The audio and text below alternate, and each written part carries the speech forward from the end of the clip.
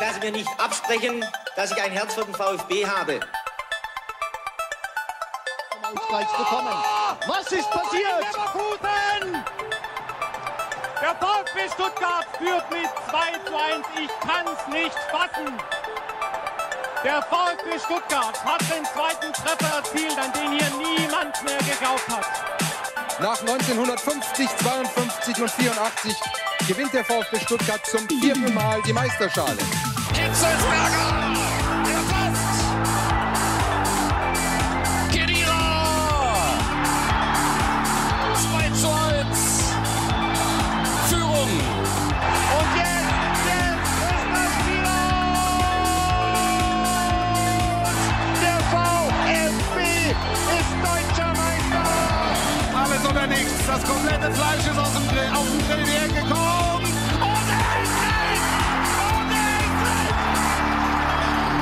Herzlich willkommen zu VfBSTR und Eid Mubarak an meine muslimischen Brüder und Schwestern da draußen. Mein Name ist Ricky Palm und mit mir im Fanprojekt sitzt Sebastian Rose. Hallo Sebastian. Hallo Ricky, heute hauen wir richtig rein, oder? Heute hauen wir richtig rein. Es geht mal wieder ab beim VfB Stuttgart. Aber Oh, ja. Sebastian, einen Auswärtsblock voller nackter Oberkörper war unsere Wunschvorstellung für den vergangenen Samstagabend und unser Block hat geliefert. Nicht nur diesbezüglich, sondern auch stimmungstechnisch. Aber überstrahlt wurde das alles von einer unfassbaren Energieleistung unserer Mannschaft.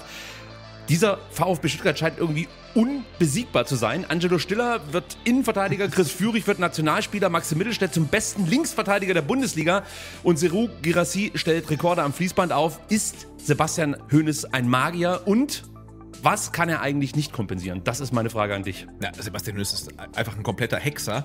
Ähm, und wenn du jetzt deine Aufzählung vielleicht vergessen hast, ist ähm, Alex Nübel, der gegen Heidenheim nicht gut aussah und jetzt in Dortmund vor gefühlt 180.000 frenetischen Dortmund-Fans einfach die Bude komplett sauber hält. Also es war ein richtig guter Samstag für uns. Habe ich natürlich alles dabei, Sebastian. Wir haben ja genügend Ja. Themen, über die es zu sprechen gilt. Ein Spiel, das sich anfühlte wie ein Finale, intensive 100 Spielminuten, hochklassiger Fußball. Wir sezieren das Spiel des VfB Stuttgart bei Borussia Dortmund. Wäre das Spiel gegen den BVB tatsächlich ein Finale gewesen, müsste man vermutlich mit einem Spannungsabfall rechnen. Dafür ist aber aktuell kein Platz, denn am Samstag kommt Eintracht Frankfurt nach Stuttgart. Was uns erwartet, erfahrt ihr in der Gegnervorschau. Eins ist jetzt schon klar, der VfB spielt 24, 25 international. Um in drei Wettbewerben konkurrenzfähig zu sein, brauchen wir aber einen guten Kader. Wir sprechen über potenzielle Abgangskandidaten und geben unsere Prognosen ab zum Verbleib diverser Leistungsträger, die aktuell ja nur ausgeliehen sind. Die Lone Army des VfB Stuttgart. So sieht's aus und äh, da geben wir unsere Einschätzungen ab, wer denn auch in der kommenden Saison das Trikot des VfB Stuttgart tragen wird. Außerdem gibt's wie immer das Blick, nee, den Blick ist es, so ist es richtig, ins NLZ und zu den VfB-Frauen. Und auch heute beschäftigt uns der Aufsichtsrat und das Präsidium des VfB Stuttgart. Zum einen, wer wird zwölfter Mann oder Frau im Kontrollgremium oder wird sogar gedowngradet? Ja, oder geht jemand? Ja, und kommt vielleicht jemand anders? Also, das ist halt sehr volatil aktuell. So sieht's aus. Und gedowngradet, wenn man so möchte, wurde zum Beispiel im Präsidium, denn heute Ja. gab Christian Riedmüller bekannt, dass er aus selbigen zurücktritt. Und auch aus dem Aufsichtsrat? So sieht's aus. Auch das werden wir einordnen, so gut es eben geht. Ich kann dir schon mal sagen, der heutige Tag hat wieder alle Rekorde gesprengt. Also eigentlich war es ja mal geplant, dass wir uns hier gegen 12, 13 Uhr treffen und dann eine Sendung aufnehmen Stündchen aufnehmen, Dortmund besprechen, Frankfurt besprechen, NLZ, Frauen und dann nach Hause gehen. und weiter feiern. Ja. So, aber die Vereinspolitik hat uns wieder, auch heute nimmt dieser Part definitiv eine wichtige Rolle ein Ja. in dieser Sendung. Eins noch zum Schluss, bevor wir dann auf das Spiel gegen Dortmund schauen. Wenn euch VfB STR gefällt, dann bewertet uns gerne auf Spotify und Apple Podcast. Und wenn ihr gerade über YouTube dabei seid, dann lasst gerne einen Daumen nach oben da und natürlich ein Abo. Die Glocke muss man unbedingt aktivieren. das ist ganz Sehr wichtig. ja. Für den Algorithmus, ja. Und ich habe mir sagen lassen, ich muss mal wieder darauf hinweisen, Ja. die Daumen nach oben, die sind wirklich aus irgendwelchen Gründen essentiell für nicht nur den VfB Stuttgart, sondern allgemein für YouTube. Das heißt, Ja, gebt uns Daumen. wenn ihr gerade eine Maus in der Hand habt oder einen Finger übrig, dann nehmt den oder die Maus und huvert über diesen berühmt-berüchtigten Daumen nach oben, Ja. klickt ihn einmal an und verteilt Liebe. Es ist gar nicht so schwer. Es ist gar nicht so schwer. Der Daumen. der Daumen nach oben. Er macht uns alle glücklicher, Ja. muss man sagen, an der Stelle. Gut, Sebastian, ich würde vorschlagen, wir gehen mal rüber nach Dortmund. Ich sagte es ja eingangs bereits, ich hatte bei der Partie am Samstag starke Final-Vibes. Es war ein hochintensives Spiel auf einem sehr guten Niveau. Es fielen zwar nur wenig Tore, nämlich nur eins, Aber, es- das auf der richtigen Seite. Gott sei Dank. Ja. Aber es gab einige brisante Szenen. Die beiden Mannschaften mussten wirklich viele brenzlige Situationen überstehen. Dafür sprechen dann auch am Ende die XG-Werte 2,48 zu 1,56 für den BVB, muss man sagen. Auch 7 zu 2 Schüsse aufs Tor für den BVB. Nur in Sachen Großchancen, da weist Opta eine 4 zu 3 Führung für den VfB Stuttgart aus. War der VfB denn am Ende der Partie die glücklichere oder die reifere Mannschaft? Ja, beides natürlich. Sehr gut. Nee, aber es, es, es war wirklich ein Spiel, äh, wie man sich ein Topspiel wünscht. Also zwei richtig gute Mannschaften. Und du hast es jetzt schon ein paar Mal gesagt, es war sehr, sehr intensiv. Beide Mannschaften hatten große Torchancen. Und ich hatte ja äh, letzte Woche auf ein 4 zu 4 getippt. Und es war ein Spiel, das hätte vielleicht nicht 4-4 ausgehen können, aber auch 2-2. Also es gab auf beiden Seiten wirklich große Torchancen. Und es war ein würdiges äh, Topspiel mit dem verdienten Sieger VfB Stuttgart, der dann vielleicht so ein bisschen glücklicher war. Ja. Kann man, glaube ich, so zusammenfassen. Ja, was wir natürlich auch nicht unerwähnt lassen möchten, war eine tolle Choreo der BVB-Fans zum Stadion, Stadionjubiläum. Und ich muss sagen, ich hätte schon auch mal Bock auf so eine Choreo, die das ganze Stadion umfasst. Ich wollte gerade sagen, Ganzkörper-Choreo, äh, ganz Stadion-Choreo ist es dann. Das sah schon gut aus, ja. Ja, muss man anerkennen. Also das war schon großartig. Auch zu Beginn der zweiten Halbzeit gab es noch eine kleine Pyro-Show Ja, der auch nicht Ultras. so schlecht, ja. ja. das war schon beeindruckend. Wobei, da steht unsere Kurve ja wirklich in nichts nach. Ich erinnere da an die tollen Aktionen, die wir gesehen haben am letzten Spieltag der, des vergangenen Jahres, Ja. als es die Weihnachtsgrußbotschaften Mhm. aus der Kurve gab. Das war schon großartig, aber hier natürlich auch nochmal gut. Ja, aber mal alle Tribünen mitzunehmen, alle Kurven mitzunehmen und mal das ganze Stadion einheitlich in ein Motto zu vereinen, das äh, hat schon was. Und Ja. gerade wenn es halt so eine große Schüssel ist, wie das Westfalenstadion, das jetzt irgendwie anders heißt. Ähm, aber das Westfalenstadion mit dann 80.000 Zuschauern, das war schon großartig. Aber wenn wir schon gerade dabei sind, ich hatte das Gefühl, dass nach der Choreo, zumindest bei den Dortmund-Fans, so ein gewisser Spannungsabfall zu spüren war. Denn man darf nicht vergessen, unsere Kurve hat wieder einen Stimmungsboykott eingelegt, ja, aufgrund ja, diverser ich möchte mal sagen, Entwicklungen im Aufsichtsrat und im Präsidium. Das Ganze wurde abgebunden mit schwarzen Rauchtöpfen, wie schon in der vergangenen Woche gegen Heidenheim. Ähm, und eigentlich dachte ich, okay, das könnte vielleicht ein Nachteil für unsere Mannschaft sein. Ich hatte aber überhaupt nicht das Gefühl, dass wir damit ein Problem hatten, also unser Team damit kein Problem hatte. Und außerdem dachte ich natürlich, dass die Dortmunder mit dieser Partystimmung und dann natürlich auch mit dem Oberwasser sozusagen auf den Rängen dann einfach komplett eskalieren 90 Minuten lang. Aber äh, genau das Gegenteil war ja eigentlich der Fall spätestens nach diesen zehn Minuten hast du überwiegend unsere Kurve gehört und die Dortmunder nur so phasenweise. Also du hast schon die Wucht gemerkt, die dieses Stadion hat, aber nicht so durchgängig, wie ich das eigentlich, ich muss sagen, befürchtet hatte. Äh, ja, absolut. Und ähm, im äh, äh, sehr von mir geschätzten ähm, BVB-Blog schwarzgelb.de stand ja, dass äh, Sky seine Mikrofone dann vielleicht einfach tendenziell zur VfB-Seite ausgerichtet hat, aber ich habe jetzt noch niemanden gehört, ähm, der gesagt hat, äh, dass der VfB nicht laut gewesen wäre und ich habe tatsächlich dann ähm, das Spiel nochmal nachgeguckt bei VfB TV und ich habe wirklich überwiegend die VfB-Fans gehört, die ja nun wirklich numerisch in der, Unterzahl waren, ähm, aber es war schon sehr, sehr laut, was unser Gästeblock mal wieder da abgeliefert Es hat. war brachial. Also ich muss sagen, die Auswärtsfahrten in dieser Saison sind wirklich denkwürdig. Ob jetzt live vor Ort oder Ja. im, über den Fernseher, ist es wirklich immer gigantisch. Da gehen auch wirklich nochmal Props an alle Auswärtsfahrer raus, auch die gelegentlich nur dabei sind. Offensichtlich gelingt es dort, wirklich alle mit einzubeziehen. Und egal, ob 3000 dabei sind oder 8000 oder ganz, das ganze Stadion Ja, in Sinsheim 20.000, besetzt genau. wird, wir gehen ab. Genau, und da muss man ja ganz ketzerisch fragen, ob die Stimmung äh, unter den VfB-Fans auswärts nicht sogar besser ist als äh, aktuell daheim. Ja, da machen wir uns bestimmt ganz viele Freunde. Lass uns schnell auf die Aufstellung blicken. Atakan Karasor kehrte für Modahut zurück in die Startelf. Wie viele rechneten ja auch wir damit, dass er den gelb gesperrten Waldemar Anton in der Innenverteidigung vertreten würde. Aber Sebastian, unser Coach entschied sich für Angelo Stiller. Den hatten wir und auch andere überhaupt nicht auf dem Schirm, oder? Nee, überhaupt nicht. Und ich glaube, Angelo Stiller hat das schon mal gespielt und das war wahrscheinlich damals unter Sebastian Hoeneß in der Bayern-Jugend. Es war tatsächlich so. Es Es ist so, war, ich- also, ja. Du hast es vielleicht gehört. Also Ja. Sebastian hat das dann nochmal ausgeführt Ja, ja. und meinte so, bei den Amateuren hat er das schon mal gemacht. Wohl auch sehr, sehr gut. Ja. Und deswegen jetzt nochmal, und man, man darf auch nicht vergessen, gegen Heidenheim hat das in den letzten Minuten auch gespielt. Ja. Ja. Genau, und wir hatten ja aber gesagt, ähm, dass wir äh, Karasor halt in der Position sehen, äh, wegen seiner Kopfballstärke, gerade gegen jemanden wie Niklas Füllkrug. Und ich hatte da schon, als ich das gesehen habe, okay, ähm, Angelo Stiller äh, rückt zurück in die Dreierkette oder in die Viererkette, die es dann ja meistens war, hatte ich schon so ein bisschen Bauchschmerzen, weil ich dachte, wie will denn der ähm, kleine, sorry, äh, Ja. Mann, ähm, das dann verteidigen gegen die großen Jungs äh, von Dortmund, die da kommen. Aber er hat es halt brillant gemacht. Da kommen wir nachher nochmal ausführlicher drauf zu sprechen, denn da hätte ich auch durchaus die ein oder andere Frage an Edin Terzic gehabt, weil es gab ja ein Kopfballmonster auf der Bank, aber wie gesagt, lass uns das später thematisieren. Hier wollen wir uns erstmal mit der Startelf auseinandersetzen. Jamie Leveling bekam auch mal wieder die Möglichkeit von Beginn an zu spielen und man muss sagen, er überzeugte auf ganzer Linie. Das war vermutlich sein bester Auftritt ähm, im Trikot mit dem Brustring, hätte ich jetzt gesagt. Ja, also kann ich nicht widersprechen. Also für mich war das so über die komplette Spielzeit, die er dann auf dem Platz stand, wirklich mit sein bester Auftritt. Es war nicht alles perfekt, ja, aber das kann es fast auch nicht sein, wenn du gegen den Champions League Viertelfinalisten spielst. Ja, also da muss man vielleicht auch mal ein Genau, das dürfen, das dürfen wir nicht vergessen. Also Borussia Dortmund ist eine der Top 8 Mannschaften Europas. Das, das ist halt Fakt. Ja. Also sie spielen im Viertelfinale der Champions League, jetzt gleich in 40 Minuten. Also die sind schon nicht so schlecht und Jamie Leveling hat eine richtig gute Partie gezeigt und hat alle seine Qualitäten auf den Rasen gebracht. Ähm, Abschluss, Sprints, Vorlagen, Krämpfe, alles. Ja, da kommen wir auch noch drauf zu sprechen. Denn ich habe sie gestoppt. Ich habe sie gestoppt. Die Kampfzeit. Zum einen die Krämpfe und Ja. die Krampfzeit. Also wir werden Okay. nachher auflösen, wie viele Minuten Okay. Jamie Levelings Krämpfe dem VfB eigentlich gebracht haben, Ja, muss man sagen. absolut. Und ob zum Beispiel dann die Empörung der Dortmunder auch gerechtfertigt war. Nein. Ja, 0,9 Minuten Nachspielzeit. Ausgerechnet am Jubiläum reichten offensichtlich nicht. Dann noch ein kurzer Hinweis, bevor wir aufs System blicken.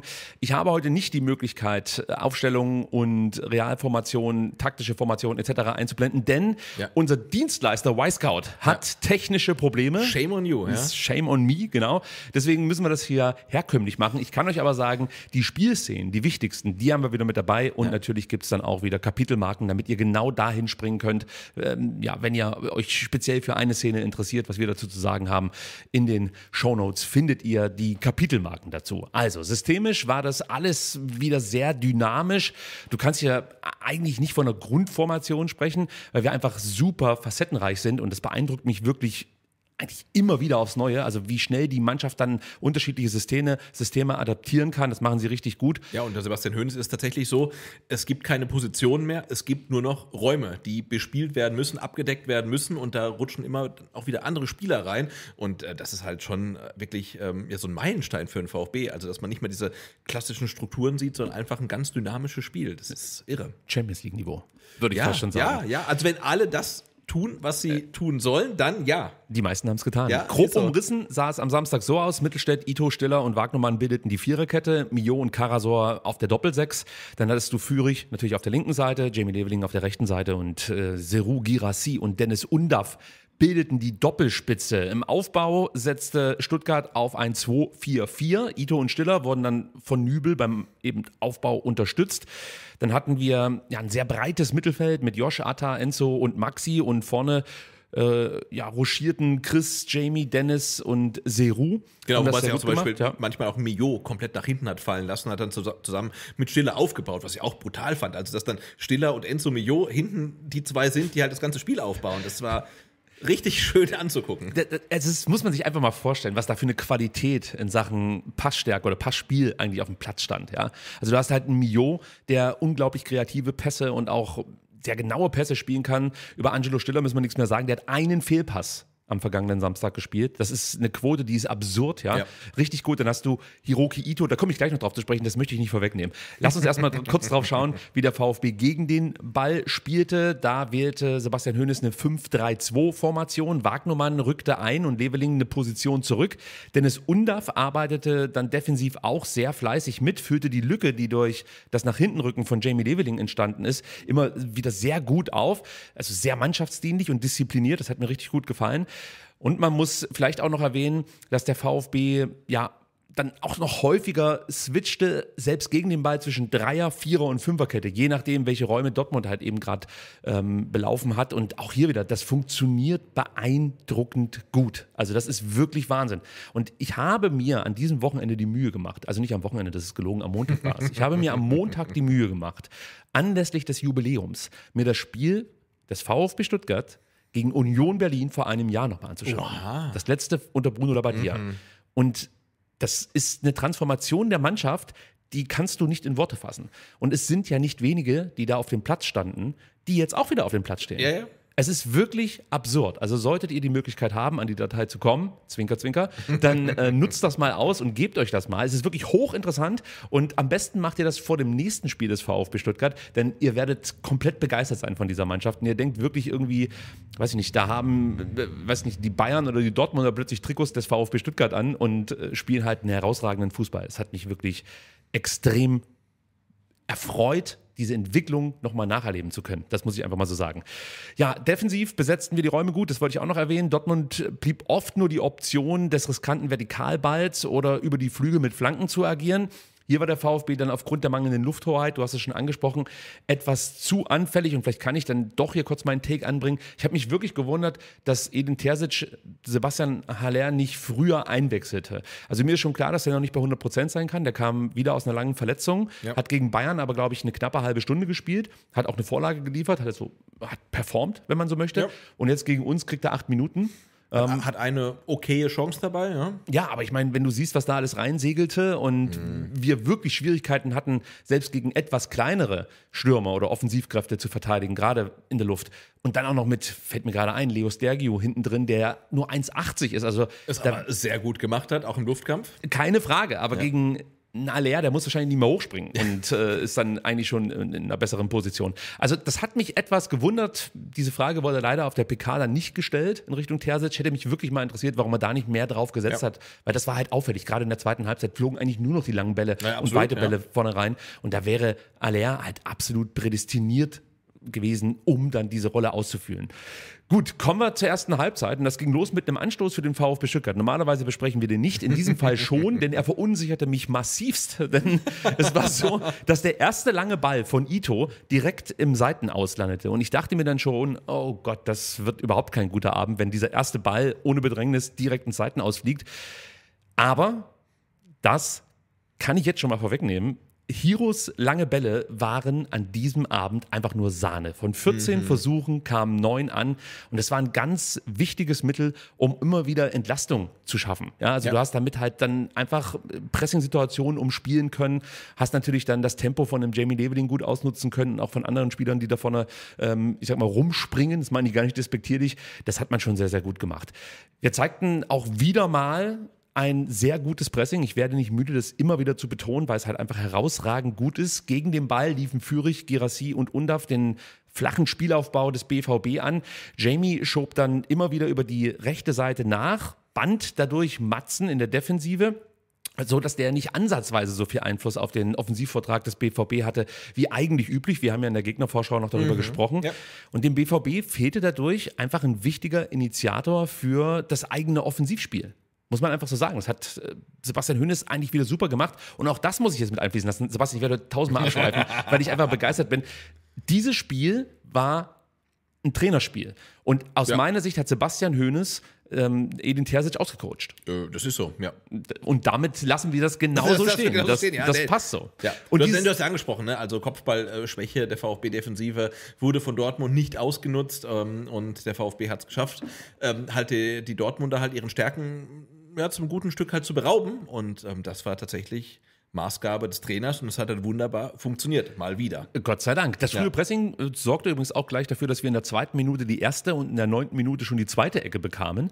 Auch da, klar, hatten wir einen leichten Nachteil, weil ein Sagadu ist zum Beispiel nicht dabei, ein Anton, der kann auch mal einen Kopfball reinmachen, aber dennoch haben wir schon von Dennis Undaff auch tolle ähm, Tore nach Eckball, äh, nach Eckball gesehen. Äh, leider Gottes hat es dafür am vergangenen Samstag nicht gereicht.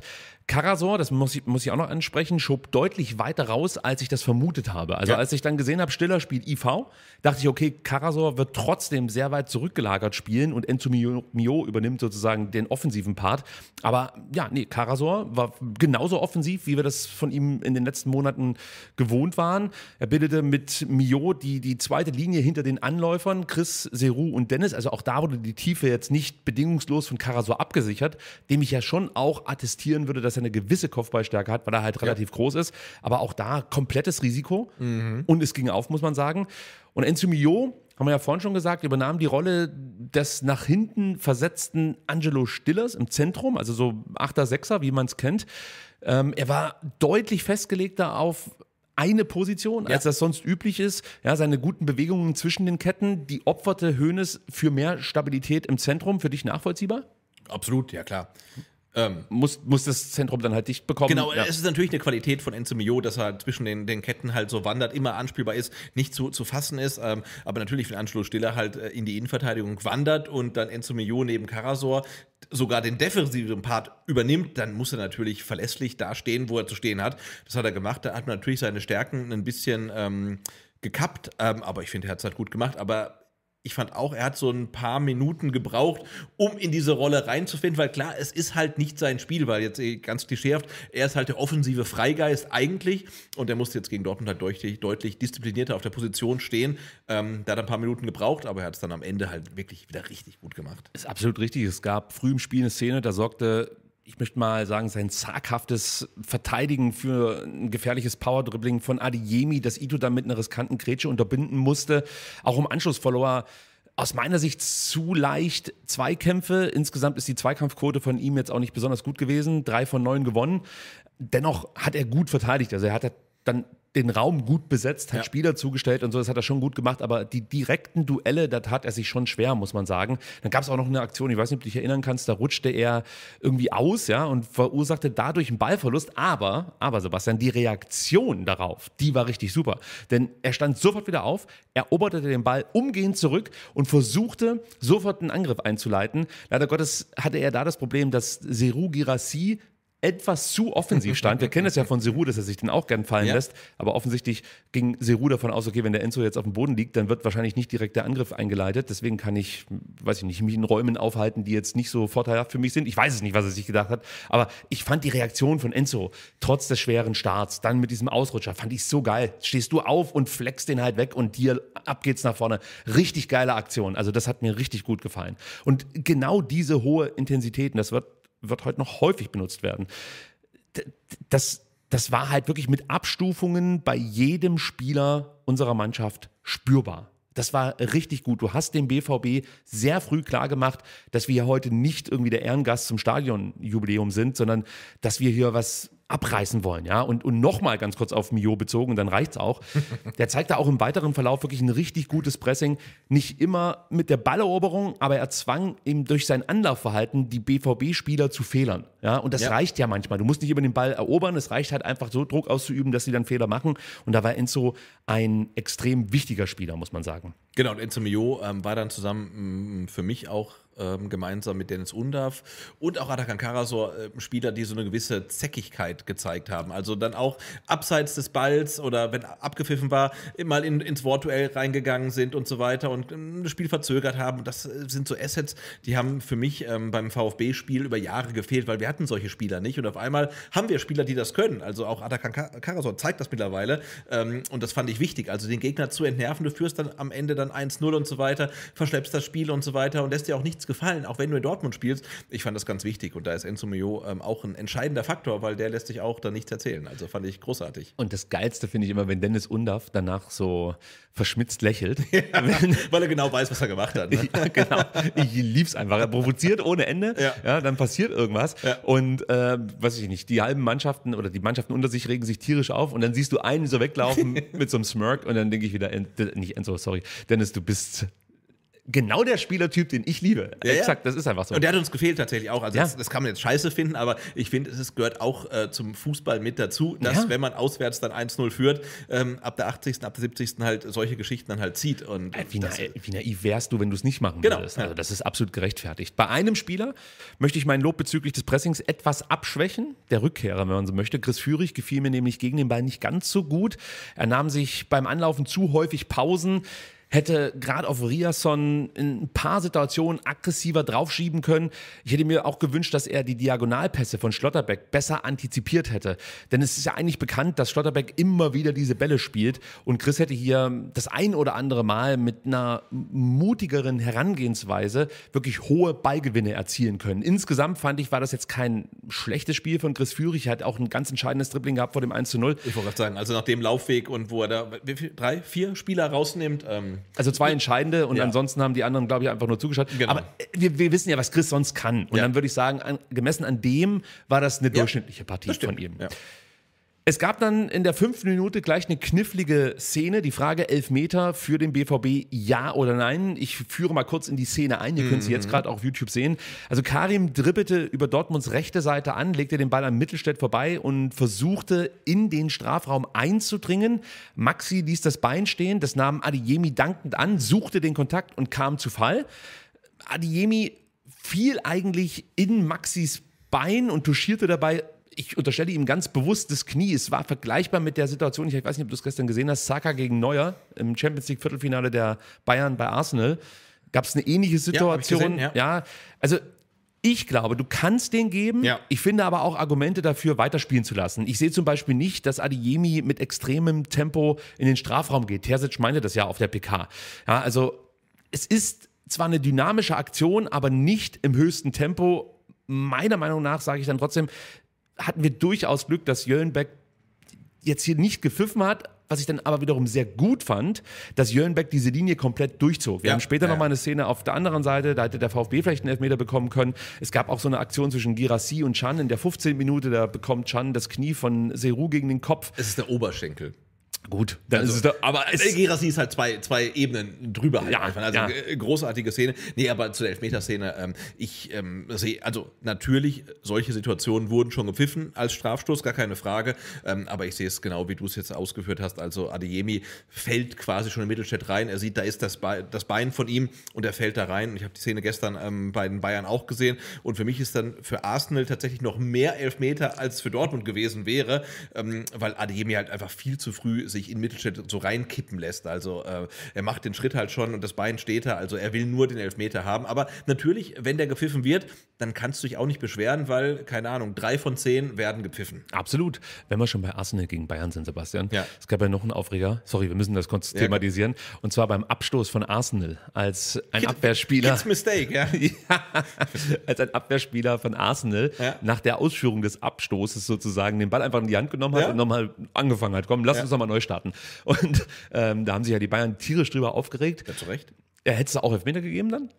Also ich finde die Argumentation des Schiris, dass er sagt, ich habe es gesehen, aber so einen Scheiß pfeife ich nicht im Champions League ähm, Viertelfinale finde ich eigentlich auch wieder großartig und äh, ich fand es auch schön ähm, für alle äh, Hasser des Frauenfußballs, weil da gab es ja auch mal bei einem WM oder Olympiaturnier so eine Szene, wo eine Abwehrspielerin den Ball einfach in die Hand nimmt. Also es passiert auch bei den Männern in der Champions League im Viertelfinale, dass Ja. ein Spieler einfach komplett random den Ball in die Hand nimmt und sagt, ja, ich trag den mal weg. Also ähm, ich verstehe schon die Intention des Schiedsrichters. Ich verstehe natürlich auch den Frust der Bayern, weil wenn du halt Fußball spielst und während des Spiels den Ball einfach in die Hand nimmst, ist es Hand. Und wenn es im 16er ist, dann ist es halt Strafstoß. Also, ja. Ich hätte nie gedacht, dass es mal passiert, aber jetzt zitiere ich Mark Terenzi.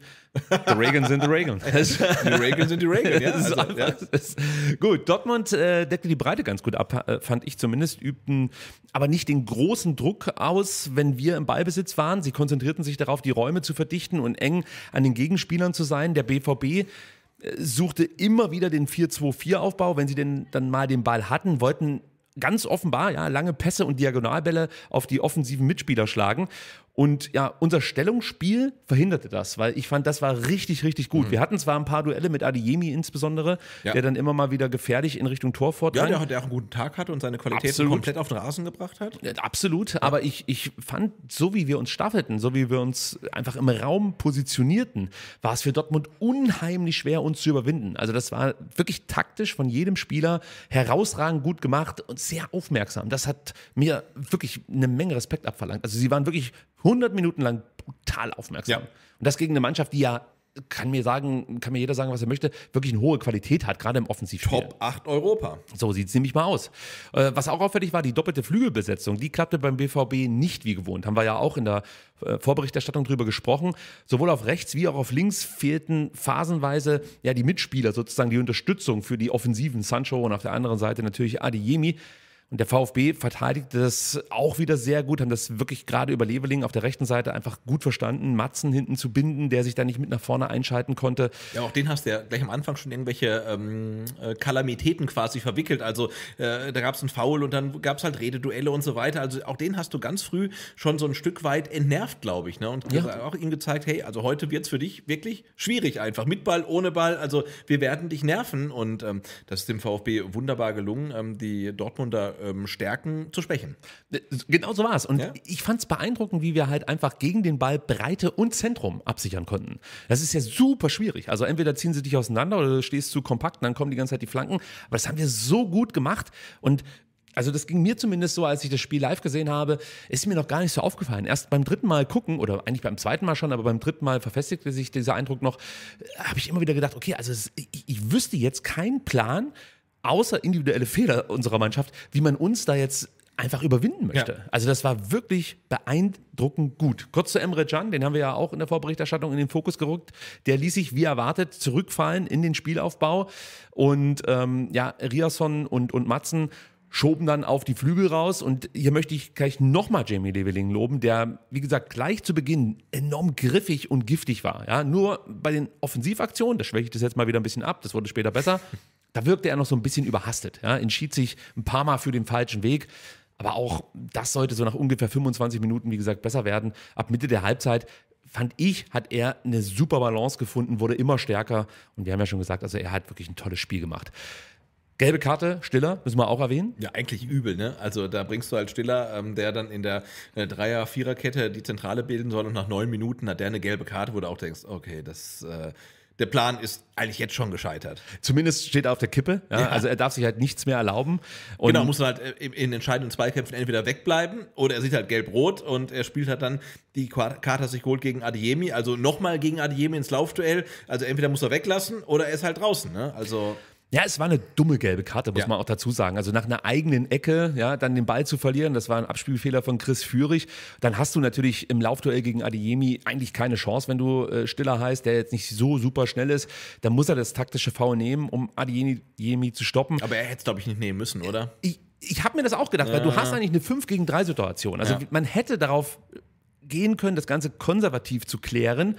Aber ich meine, wenn er dann durchläuft und es fällt ein Tor, wird halt klar. jeder sagen, warum ziehst du nicht das Foul? So, also ich kann es nachvollziehen, dass du in dem Moment wirklich alles unternimmst, um den zu stoppen. Aber wenn du es in einer Totalen siehst, merkst du, okay, eigentlich stehen wir ganz gut und wir hätten das vielleicht auch weiterlaufen lassen können und dann noch besser verteidigen können. Aber sei es drum, er hat ja danach einfach so weitergespielt, als hätte er nie eine gelbe Karte bekommen. Also man hat ja überhaupt nicht gemerkt, dass er jetzt davor belastet ist. Gut, er Ja. hat sich auch ein bisschen aus den Zweikämpfen rausgenommen. Ja, ja. Aber wenn du das kompensieren kannst mit gutem Stellungsspiel, Ja, ja, warum nicht? Ja, ähm, ja. Angelo Stiller, sollen wir es nochmal ganz kurz aufdröseln, Ja, was der gerne. eigentlich hier für eine Partie Gerne, gemacht gerne, hat. Also vier Klärungsaktionen, Top 3 aller Spieler, muss man dazu sagen. Grundsätzlich auch hier, ich möchte es nochmal sagen, ein fantastisches Stellungsspiel. 73 von 74 Pässen kamen an. Und auch, ich habe es gerade eben schon angemerkt, wenn er nicht allzu viele Zweikämpfe gewann, man hat sich irgendwie nie groß Sorgen machen müssen, dass Stiller als Innenverteidiger Schwierigkeiten bekommen könnte.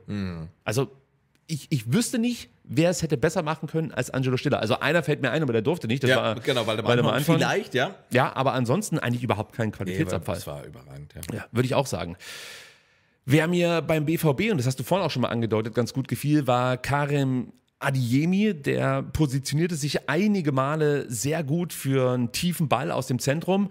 Josh stellte hinter ihm einfach nicht so den Raum adäquat zu, wie du es eigentlich machen musst, damit er nicht so gut aufdrehen kann und dann sein Tempo ausspielen kann. Glück für uns, dass der BVB diese Situation nicht noch stärker forcierte. Also ich hatte das Gefühl, das wäre vielleicht auch noch mal eine Facette gewesen, die man mit reinbringen hätte können. Also noch häufiger diesen tiefen Ball auf Adiemi zu spielen, aber das, das hörte mal irgendwann auf aus irgendwelchen Gründen. Stattdessen setzten sie, wie gesagt, auf Passspiel, auf Ballbesitz. Und ich glaube, dass sie diese etwas progressivere Spielweise nicht gewählt haben, weil sie ein Stück weit Respekt hatten und vielleicht sogar unser Umschaltspiel fürchteten, aber ich glaube, das führte dazu, dass sie etwas zurückhaltender agierten. Hast du es ähnlich gesehen? Äh, ja, auf jeden Fall. Und du hast am Ende, glaube ich, auch ähm, 50-50 Ballbesitz gehabt. Ich glaube, es war 51 Dortmund, 49, 49 Stuttgart.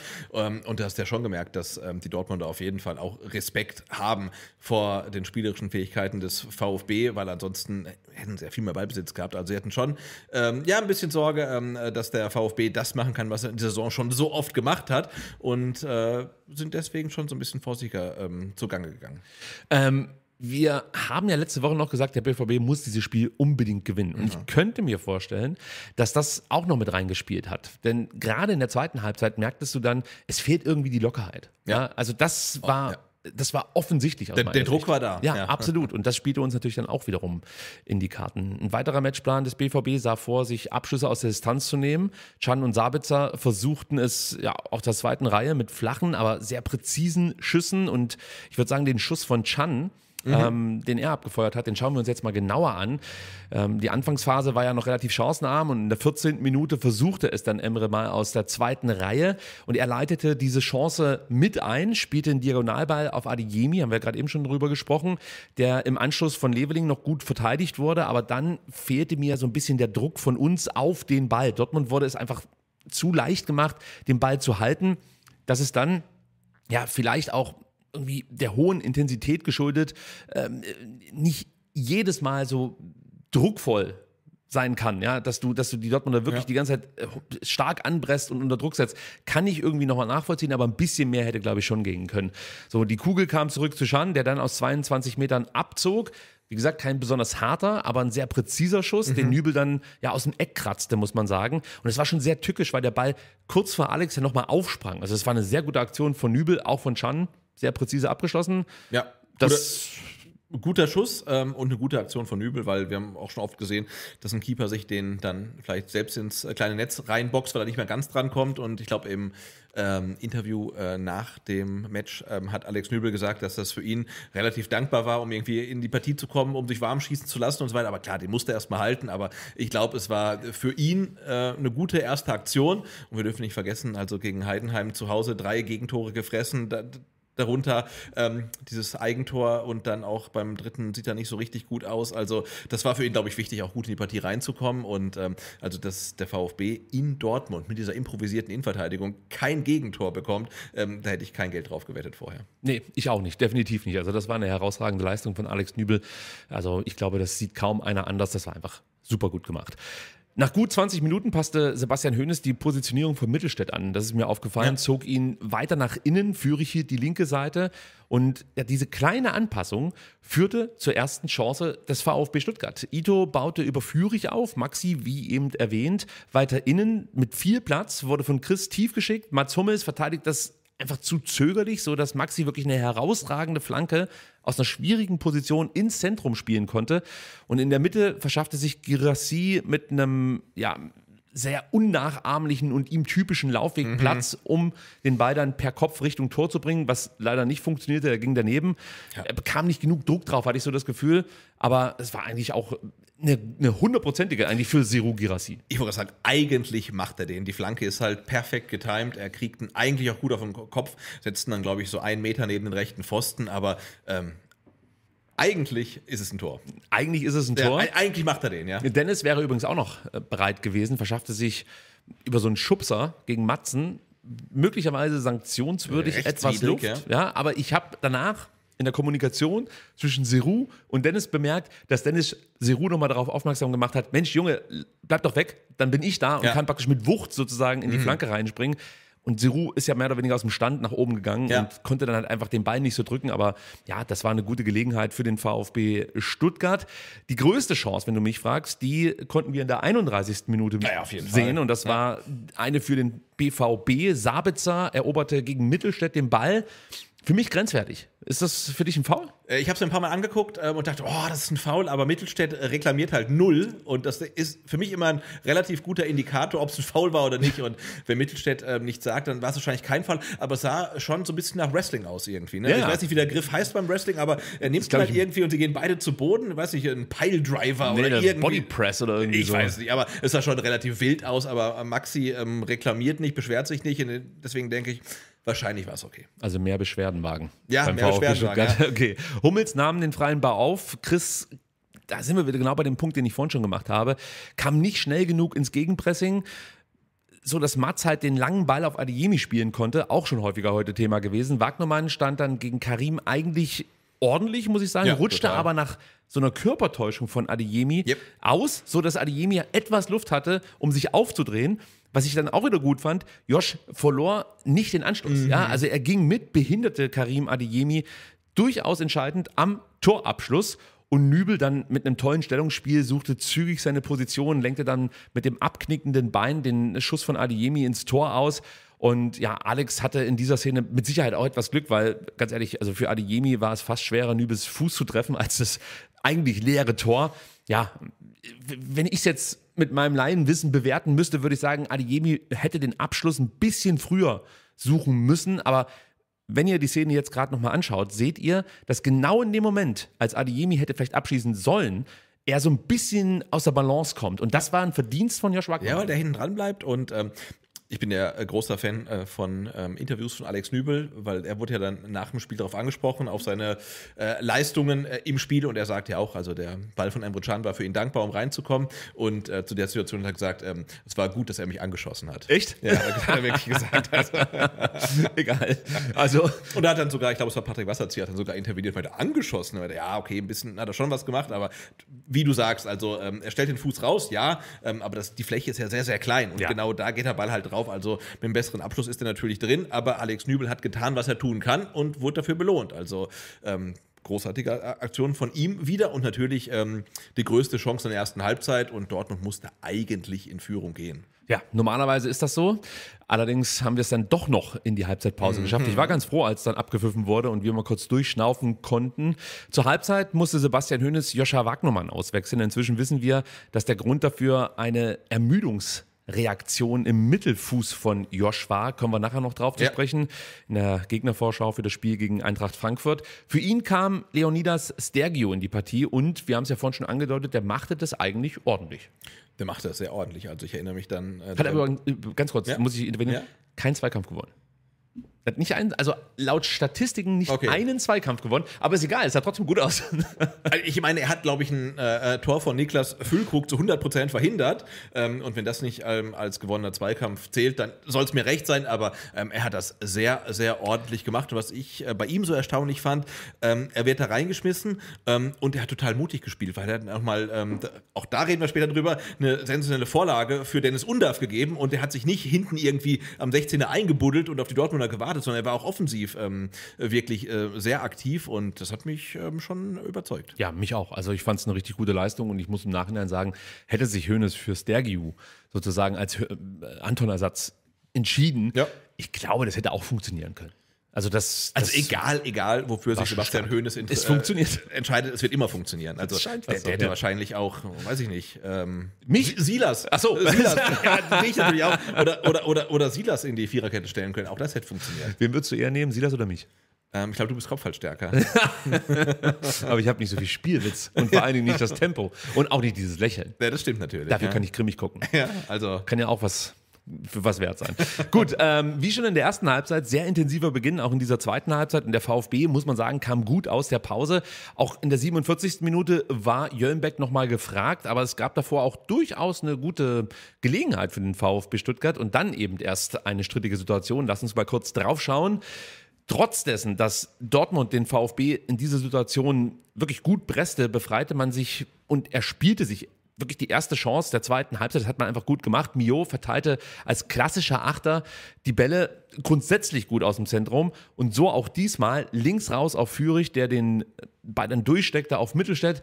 Und da sind zwei Dinge auffällig. Erstens, Levelings Lauf, Laufweg. Das ist das Erste. Er suchte auch dann im weiteren Verlauf der Partie immer wieder die Ballnähe und klebte nicht wie in der ersten Halbzeit so dogmatisch auf dem rechten Flügel. Du hast einfach gemerkt, er wurde so ein bisschen von den Defensivaufgaben entbunden, weil ein Wagnermann natürlich offensiver denkt als ein Sergiu Ja. und hatte dadurch mehr Freiheiten und das kam ihm zugute, weil das ist mir hier in der Szene extrem aufgefallen, wie er da den diagonalen Laufweg wählt und einfach ja dadurch auch wieder Räume für seine Mitspieler reißt und natürlich auch erstmal für Unruhe in der Dortmunder Defensive sorgt. Und zweitens auch wieder das Thema Laufweg, diesmal der von Seru Girassi.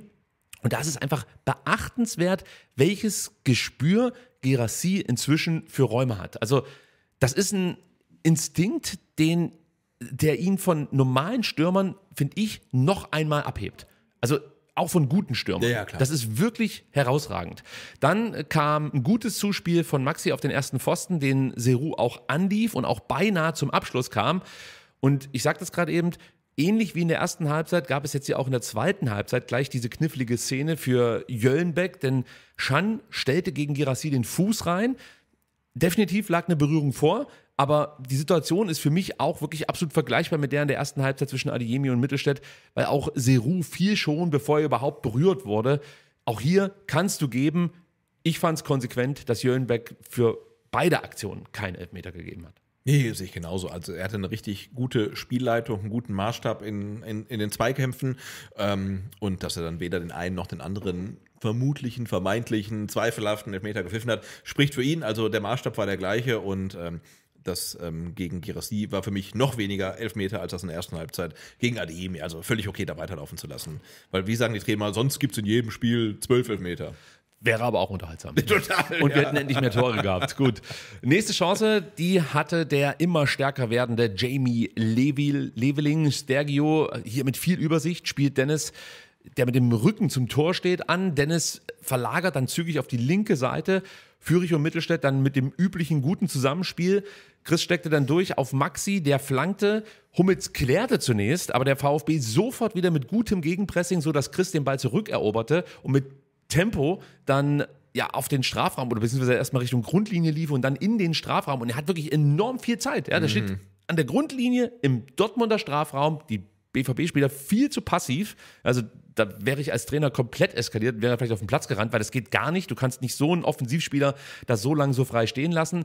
Und im Rücken der Dortmunder Abwehr stehen Girassi und Leveling als Empfänger bereit. Ja? Und Ja. Karasor lief zusätzlich noch aus dem Rückraum mit ein. Haben wir wieder die gute Strafraumbesetzung, über die wir auch schon oft hier gesprochen haben. Dann gibt es diesen Chipball von Chris auf Jamie, der wirklich viel Zeit hatte. Dafür, dass es eine Strafraumsituation ist, hat er enorm viel Zeit gehabt, den Ball aber nicht kontrolliert, sondern den Ball Wolle nahm.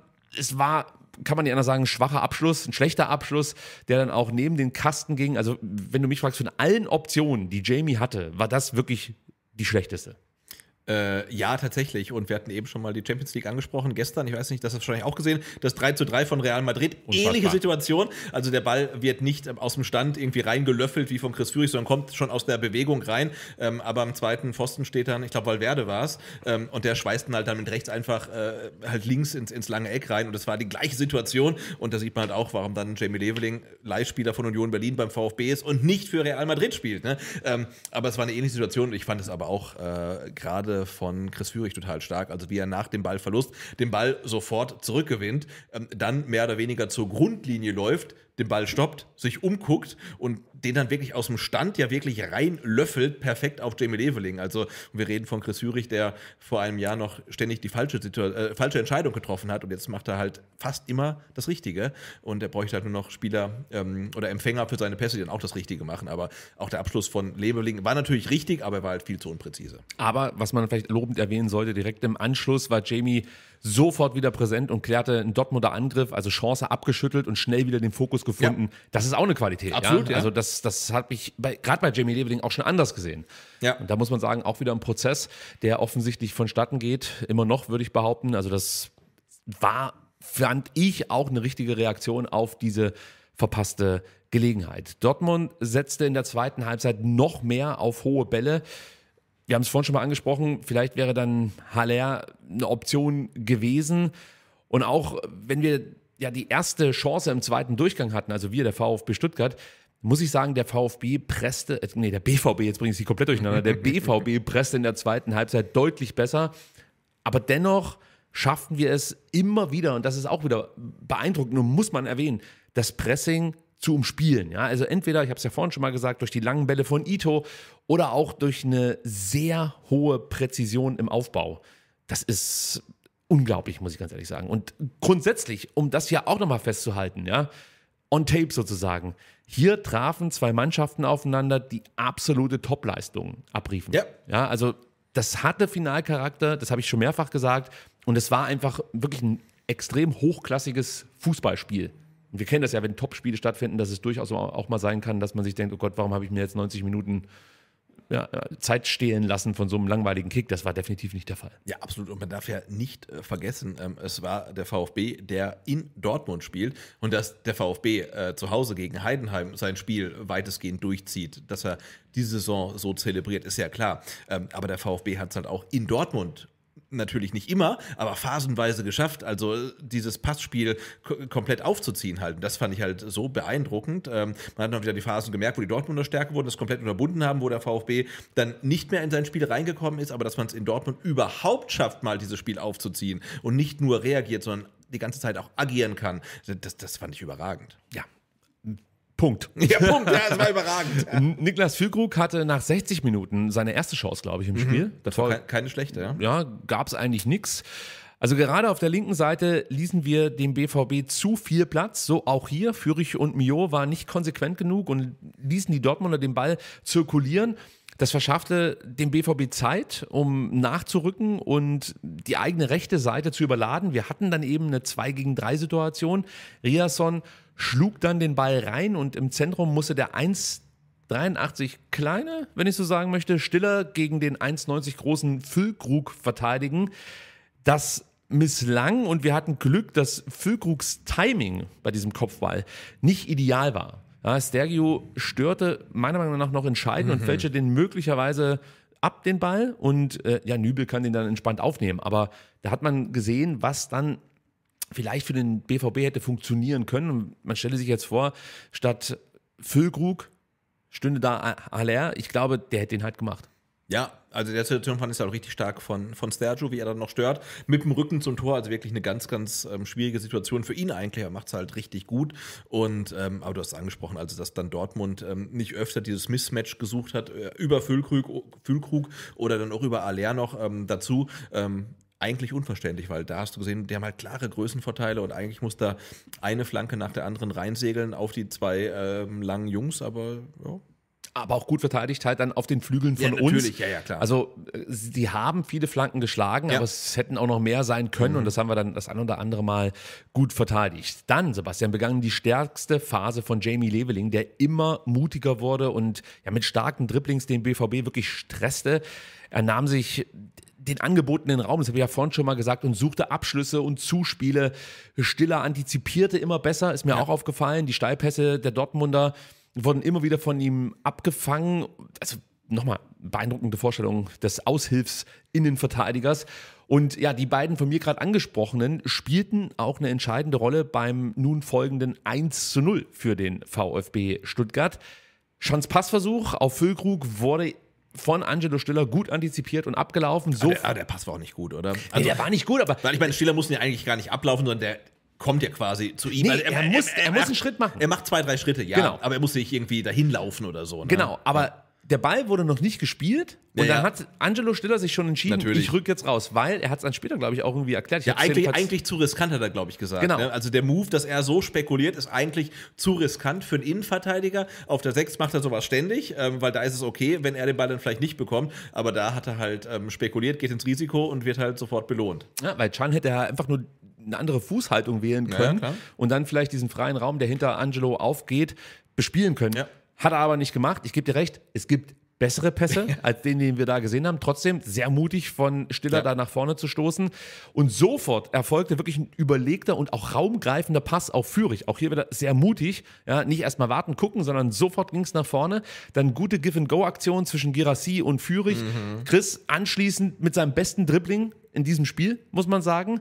Gewann zwei wichtige Dribbling-Aktionen gegen Schlotterbeck und Marzen und spielte erneut Seru an, der dann wirklich in bester Spielmachermanier Ja. den Ball annahm und nach außen auf Leveling weiterleitete. Also Genau, aber, aber nochmal das Dribbling äh, von Chris Führig äh, von ganz links eigentlich nach ganz rechts und damit nimmt er eigentlich die komplette Dortmunder Defensive aus dem Spiel raus, ja, also zumindest das Mittelfeld. Ja. Die Innenverteidigung steht natürlich noch, aber ähm, also dieser Laufweg ähm, zerstört einfach alles, was sich Dortmund da vorgenommen hat im Mittelfeld. Ja, weil sie auch zu langsam waren in dem Ja. Moment, muss man sagen. Und ich habe nachher noch ein, eine Pointe sozusagen zu diesem Angriff.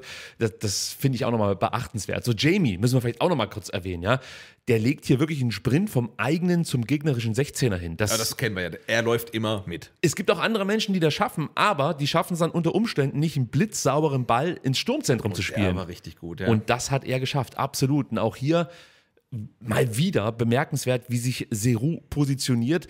Es sieht für mich manchmal so aus, als wisse er als einziger, was, wann und wie passiert auf dem Platz. Und zwar bereits in dem Moment, ähm, als Stiller diesen, diesen Chan-Pass abfing. Ja. Ja, also das ist, das ist wirklich teilweise absurd, weil du siehst ja dann, wenn er Richtung Strafraum läuft, der zieht das Tempo überhaupt nicht an. Der verlangsamt, du merkst Ja. einfach so, ja gut, ich weiß, der Ball kommt dahin und lass die anderen mal rennen. Da Ja, aber, es, aber wenn man sich das Standbild anguckt, ist ja schon, schon skurril. Ne? Also ich glaube, ähm, Riasson deckt hinten Dennis Undaff ab, ähm, Mats Hummels und Nils Schlotterbeck sind ja auch im 16er, die decken, weiß ich nicht, einen eigenen Fünfer und ähm, Serugi Rassi steht auf dem Elfmeterpunkt ungefähr da und steht halt wirklich glockenfrei und wartet auf den Ball von Jamie Leveling, der dann auch kommt. Dann bringe ich jetzt gleich meinen Take, den Okay, ich eigentlich komm. als Pointe bringen Ja. wollte.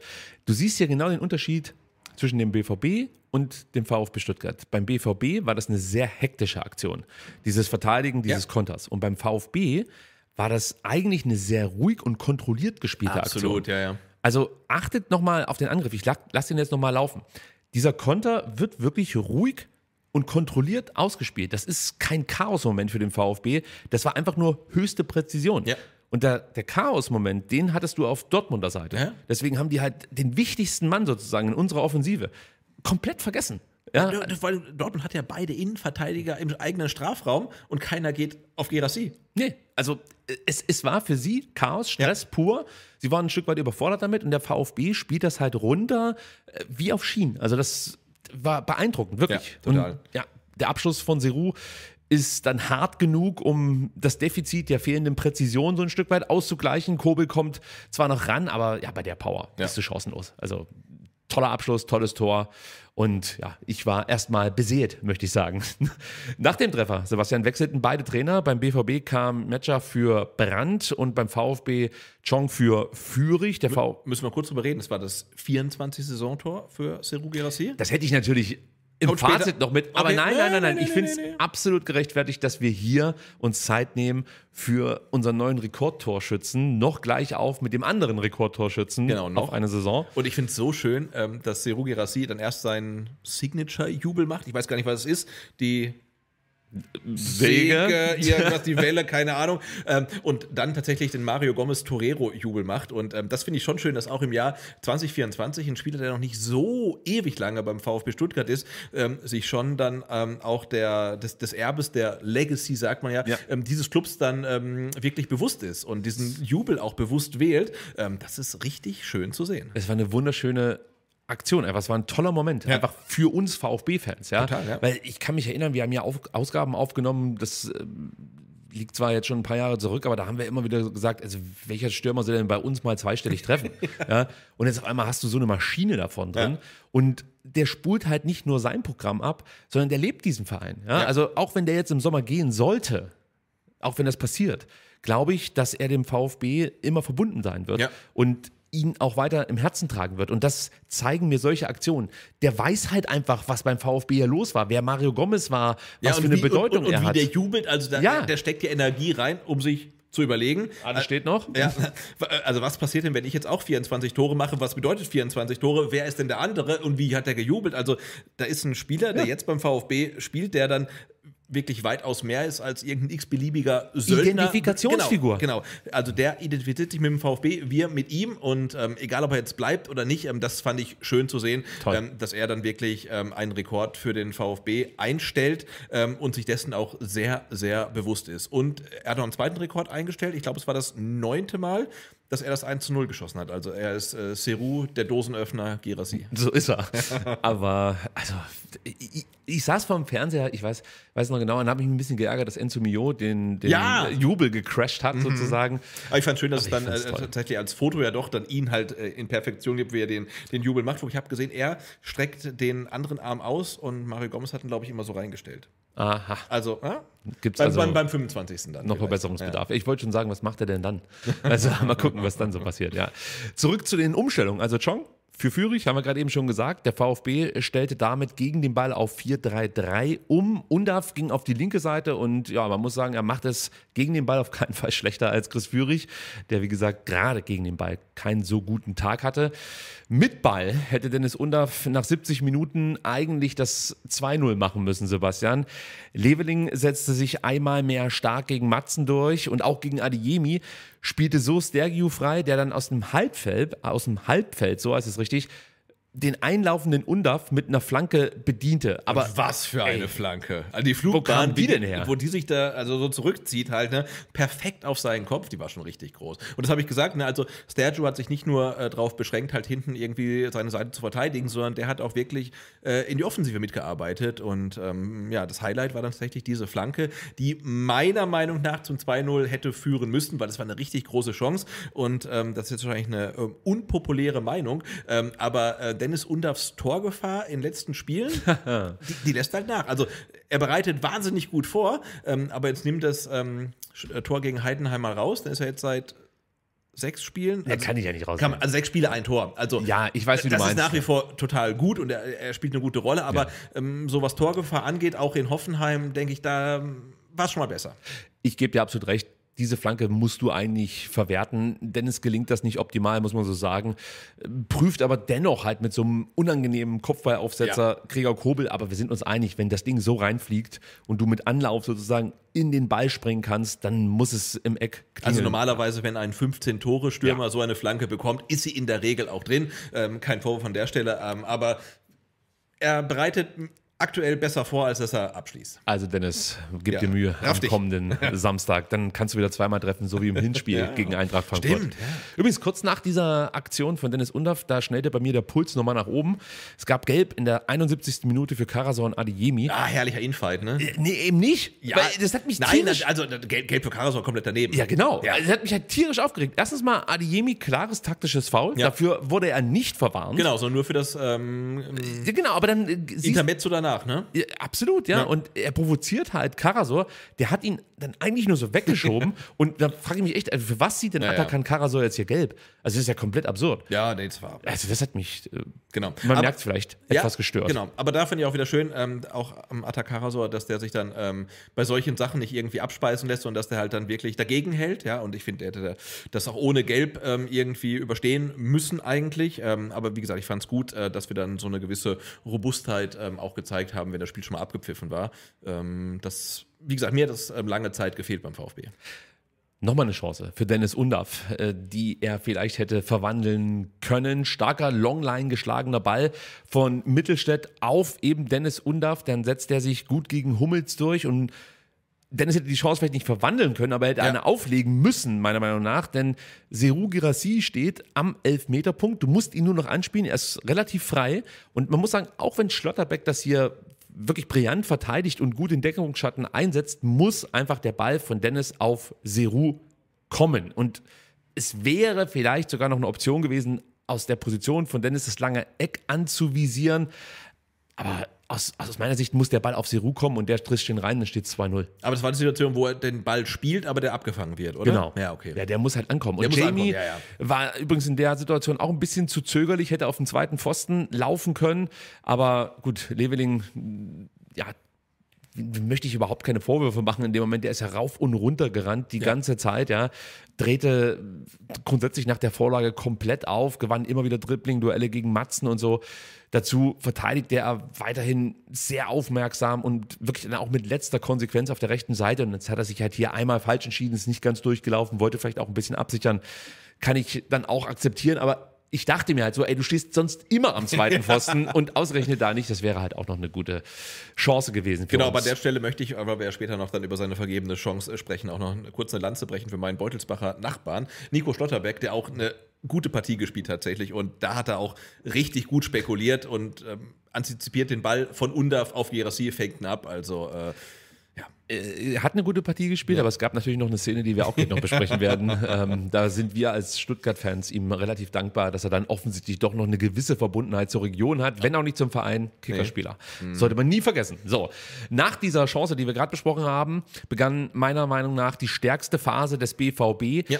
Los ging es mit einer Gelegenheit für Niklas Füllkrug in der 78. Minute und dafür zu zurückhaltend auf der linken Halbspur gegen Bino Gittens, der inzwischen eingewechselt wurde. Gemeinsam mit Sancho spielte Jamie Bino Gittens dann Ito und Stiller aus. Anschließend ging er ja auch nochmal an, an Maxi vorbei, machte das richtig gut. Also das war übrigens perfekt, wie man Gegenspieler ausspielt. Also du wartest, bis sie auf dich zukommen, spielst dann den tiefen Ball und nutzt dann dein Tempo aus. Besser kannst du es einfach nicht machen. Dann die Flanke vor unser Tor. Wieder das Mismatch Stiller gegen Füllkrug mit äh, ja, Tag-Team-Partner, möchte ich mal so sagen, Stergiu, der aber auch nur 1,80 ist, haben wir ja vorhin schon gesagt genau, Stiller und Sterjo sind äh, zusammen so groß wie Niklas Füllkrug. äh, gefühlt, ja. Also und äh, auch wieder eine super brenzlige Situation, aber dennoch in Ordnung gelöst von beiden, muss man ja. sagen. Und äh, dann der freie Ball, der von Leveling gegen Adiemi stark verteidigt wurde, sorgte dann dafür, dass wir erstmal wieder kurz zumindest durchschnaufen konnten. Also Leveling gegen Adiemi war sowieso mein Lieblingsduell. Das war geil. ja, das war geil. Ich liebe Die solche nehmen sich beiden Situationen. halt nichts, also das Absolut. war richtig großartig. So, und dann muss eigentlich der Ausgleich fallen, Sebastian. Ja. Also das ist fast schon absurd gewesen. Ich möchte mich aber nicht beschweren. Nach einem Eckball kann Stiller Matcher nicht halten, sodass der zum Abschluss kam. Und Maxis äh, Timing, achtet mal darauf, die Szene läuft gerade wieder, die war auch nicht ganz so optimal, würde ich sagen. Du die Szene noch im Kopf? Maxi geht halt ja. hoch, aber der hätte Ja, eigentlich ja, aufgrund dessen, dass er zu früh nach oben gestiegen ist, gar nicht an den Ball kommen können. Das hat Matcher schon deutlich besser gemacht. Den Kopfball von Matcher parierte Nübel dann noch auf der Linie. Übrigens super gemacht, super schnell unten gewesen. Genau. Tolle Sehr Reaktion. schnell ab, ja. Ja, wirklich gut gemacht. Ließ den Ball dann aber vor die Füße von Schlotterbeck abprallen, der dann aus knapp drei Metern wirklich weit übers Tor schoss. Also mir fällt dazu nur ein Glück für uns und Tadel in Richtung Dennis Undarf, der ein bisschen schläfrig wirkte und Schlotterbeck halt aus den Augen verlor. Ja. Ja, Ja, aber das sind diese klassischen Innenverteidiger-Tore, ne? Da gibt es einen Standard und dann liegt der Ball auf einmal frei im 5-Meter-Raum und dann kommt halt irgendein Innenverteidiger und stochert ihn rein und Nico Schlotterbeck, ähm, dem gelingt halt das Kunststück aus drei Metern, fünf Meter übers Tor zu schießen. Also vielen Dank dafür. Also das, da, davon wird er sicherlich noch äh, nachts träumen. Also Ja. natürlich muss er ihn einfach reinmachen und insofern, ähm, wir haben es ja vor der Besprechung des Spiels gesagt, kann man schon davon reden, dass der VfB einfach ein Stück weit glücklicher war, weil diese Chance ist eine hundertprozentige, die war halt einfach nicht drin. Ähm, aber der VfB hat natürlich auch alles dafür getan, äh, um halt ähm, zu Null zu spielen. Und dann hat man das nötige Glück. Also die schönste, die schönste Kerze des Abends, Ja, absolut, fragst. Also das absolut, war wirklich absolut. großartig. Terzic ging anschließend all in, brachte Haller, Mukoku und Reus für Füllkrug, Matzen und äh, Riasson. Und du merktest dann beim VfB Stuttgart, okay, jetzt kommen sie an ihre Grenzen. Und da muss man Ja. sagen, das war eine extreme Willensleistung in der Schlussphase vom VfB Stuttgart. Dennoch auch sehr konzentriert, nicht unstrukturiert. Girassi auch da voller Einsatz, schleppte sich wirklich am Ende über, de, über den Platz, muss man einfach so Mhm. sagen. Der konnte gar nicht mehr, holte alles aus seinem Körper raus. Das galt auch für Jamie Leveling. Jetzt Oh kommen ja. wir zu meinem Lieblingsthema heute. Die Krämpfe des Jamie Leveling. Des jungen Jamie, ja. 78. Minute nach der Füllkrug-Chance ging's los. Ja. Zum ersten Mal Krämpfe. Und in der 84. Minute dann wieder Krämpfe. Gott sei Dank kam Dennis schnell vorbei und wies seinen Mitspieler darauf hin, dass er sich doch besser hinlegen solle. Ja, mit Krämpfen soll es auch nicht weiterlaufen. Das kann wirklich gefährlich werden. Also Auf keinen Fall. Spätfolgen und so, ja. Die Dortmunder sind komplett eskaliert. Ja. Jamie hat dann den Fehler gemacht, ähm, dass er die Blitzheilung, ich sag mal, vorsichtig eingestanden hat. Aber jetzt bei, bei dem ganzen Gedöns hier. Ja. Am Ende, ich habe es gestoppt, sorgten Jamie Levelings Krämpfe für zwei Minuten und 30 Sekunden Spielunterbrechung. Ja. So, Bei also neun Minuten Nachspielzeit, also das scheint mir auch gerechtfertigt zu sein. Und ich kenne das ja auch und ich äh, schimpf immer, wenn ich im Neckarstadion bin und äh, die gegnerische Mannschaft führt, was ja in dieser Saison nicht so häufig vorkam. Ähm, und dann liegen halt Spieler ständig auf dem Platz. Ähm, da da, da heiß ich die auch alles, ja. Ja. Ähm, Und der VfB hat es nie gemacht. Also wahrscheinlich auch daran, liegt wahrscheinlich auch daran, dass wir selten geführt haben.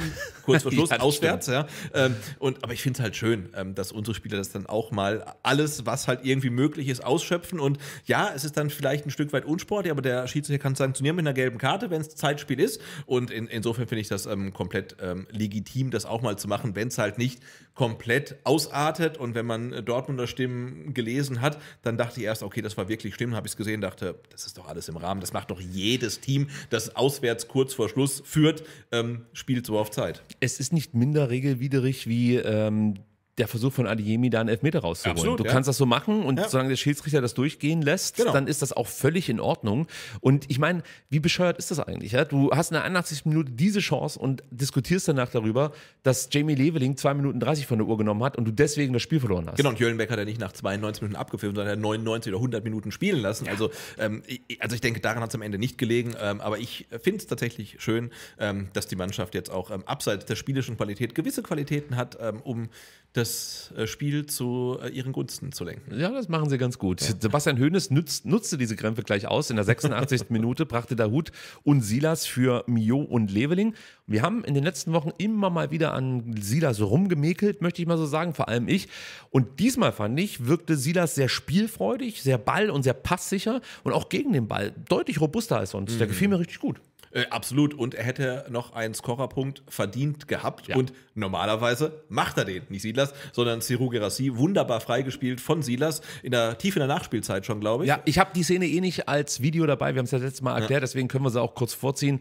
Ja, ist, glaube ich, eine Situation. Also lass uns kurz vielleicht äh, tatsächlich mal aufdröseln. Der VfB äh, fing erstmal so einen langen Ball des BVB wieder ab. Maxi schlug den Ball dann auch nicht unkontrolliert nach vorne, sondern suchte Wu Yong Chong, der dann wiederum sehr klug Silas auf rechts bediente. Genau, die Dortmunder standen schon sehr, sehr offen. Das war schon Ja. diese ähm, All-or-Nothing-Phase quasi, entweder Ausgleich oder wir kriegen das zweite. Und äh, Silas steht halt komplett frei, kriegt den Ball, aber macht es dann auch wirklich sehr überlegt. Also nicht das übliche äh, in irgendeine Richtung sprinten oder so. Nee, perfekt. er guckt, sondern spielt halt Seru Girassi perfekt frei und der ist eigentlich auch in der perfekten Abschlusssituation und schlänzt dann ganz ungewohnt über Storm. Ich glaube, das lag daran, dass der echt platt war. Ja, der war- also da war halt ja. echt kein Sprit mehr am Tank oder nur noch ein Tropfen.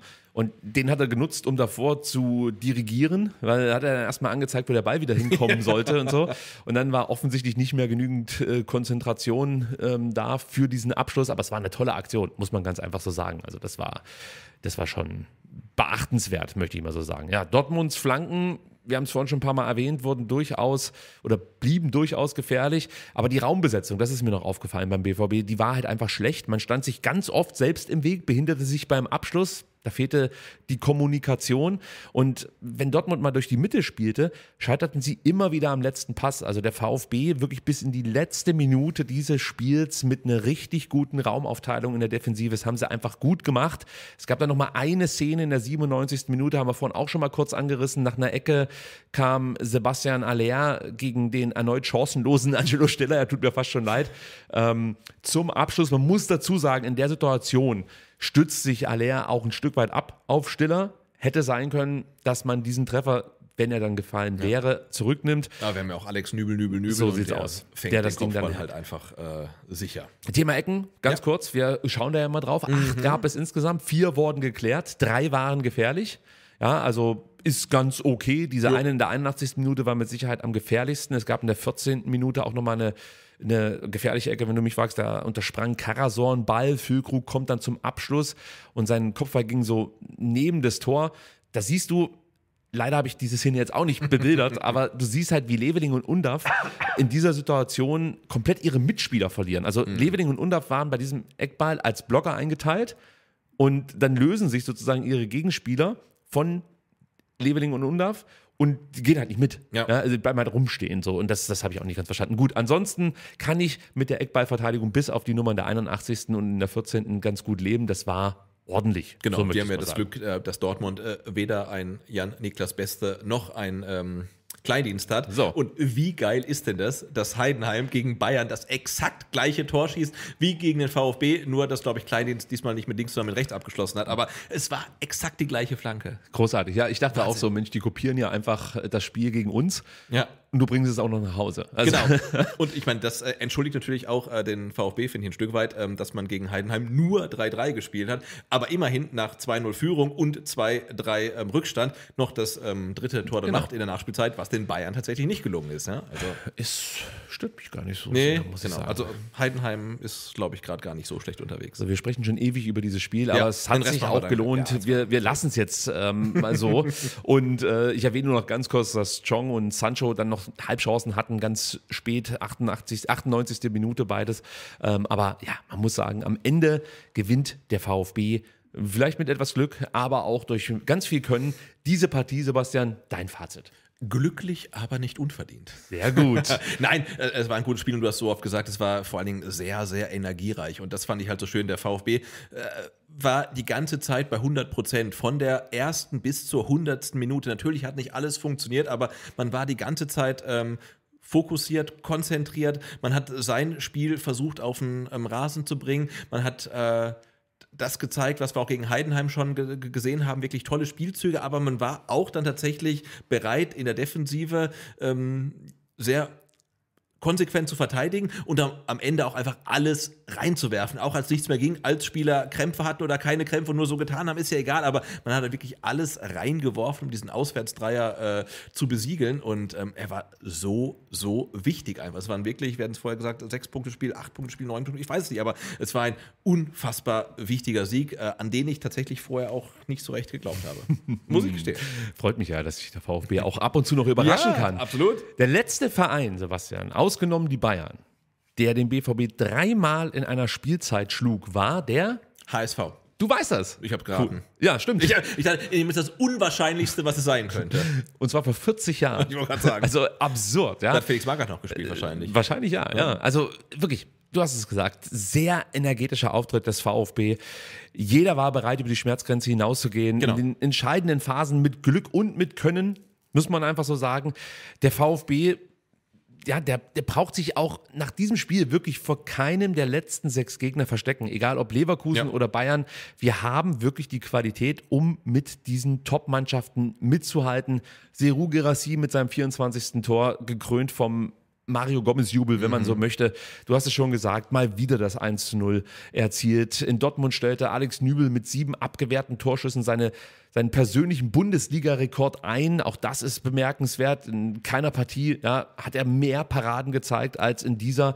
Und ganz nebenbei wurden äh, mit, mit ja, dem fünften Bundesliga-Auswärtssieg in Serie auch noch ein neuer Vereinsrekord für den VfB Stuttgart aufgestellt.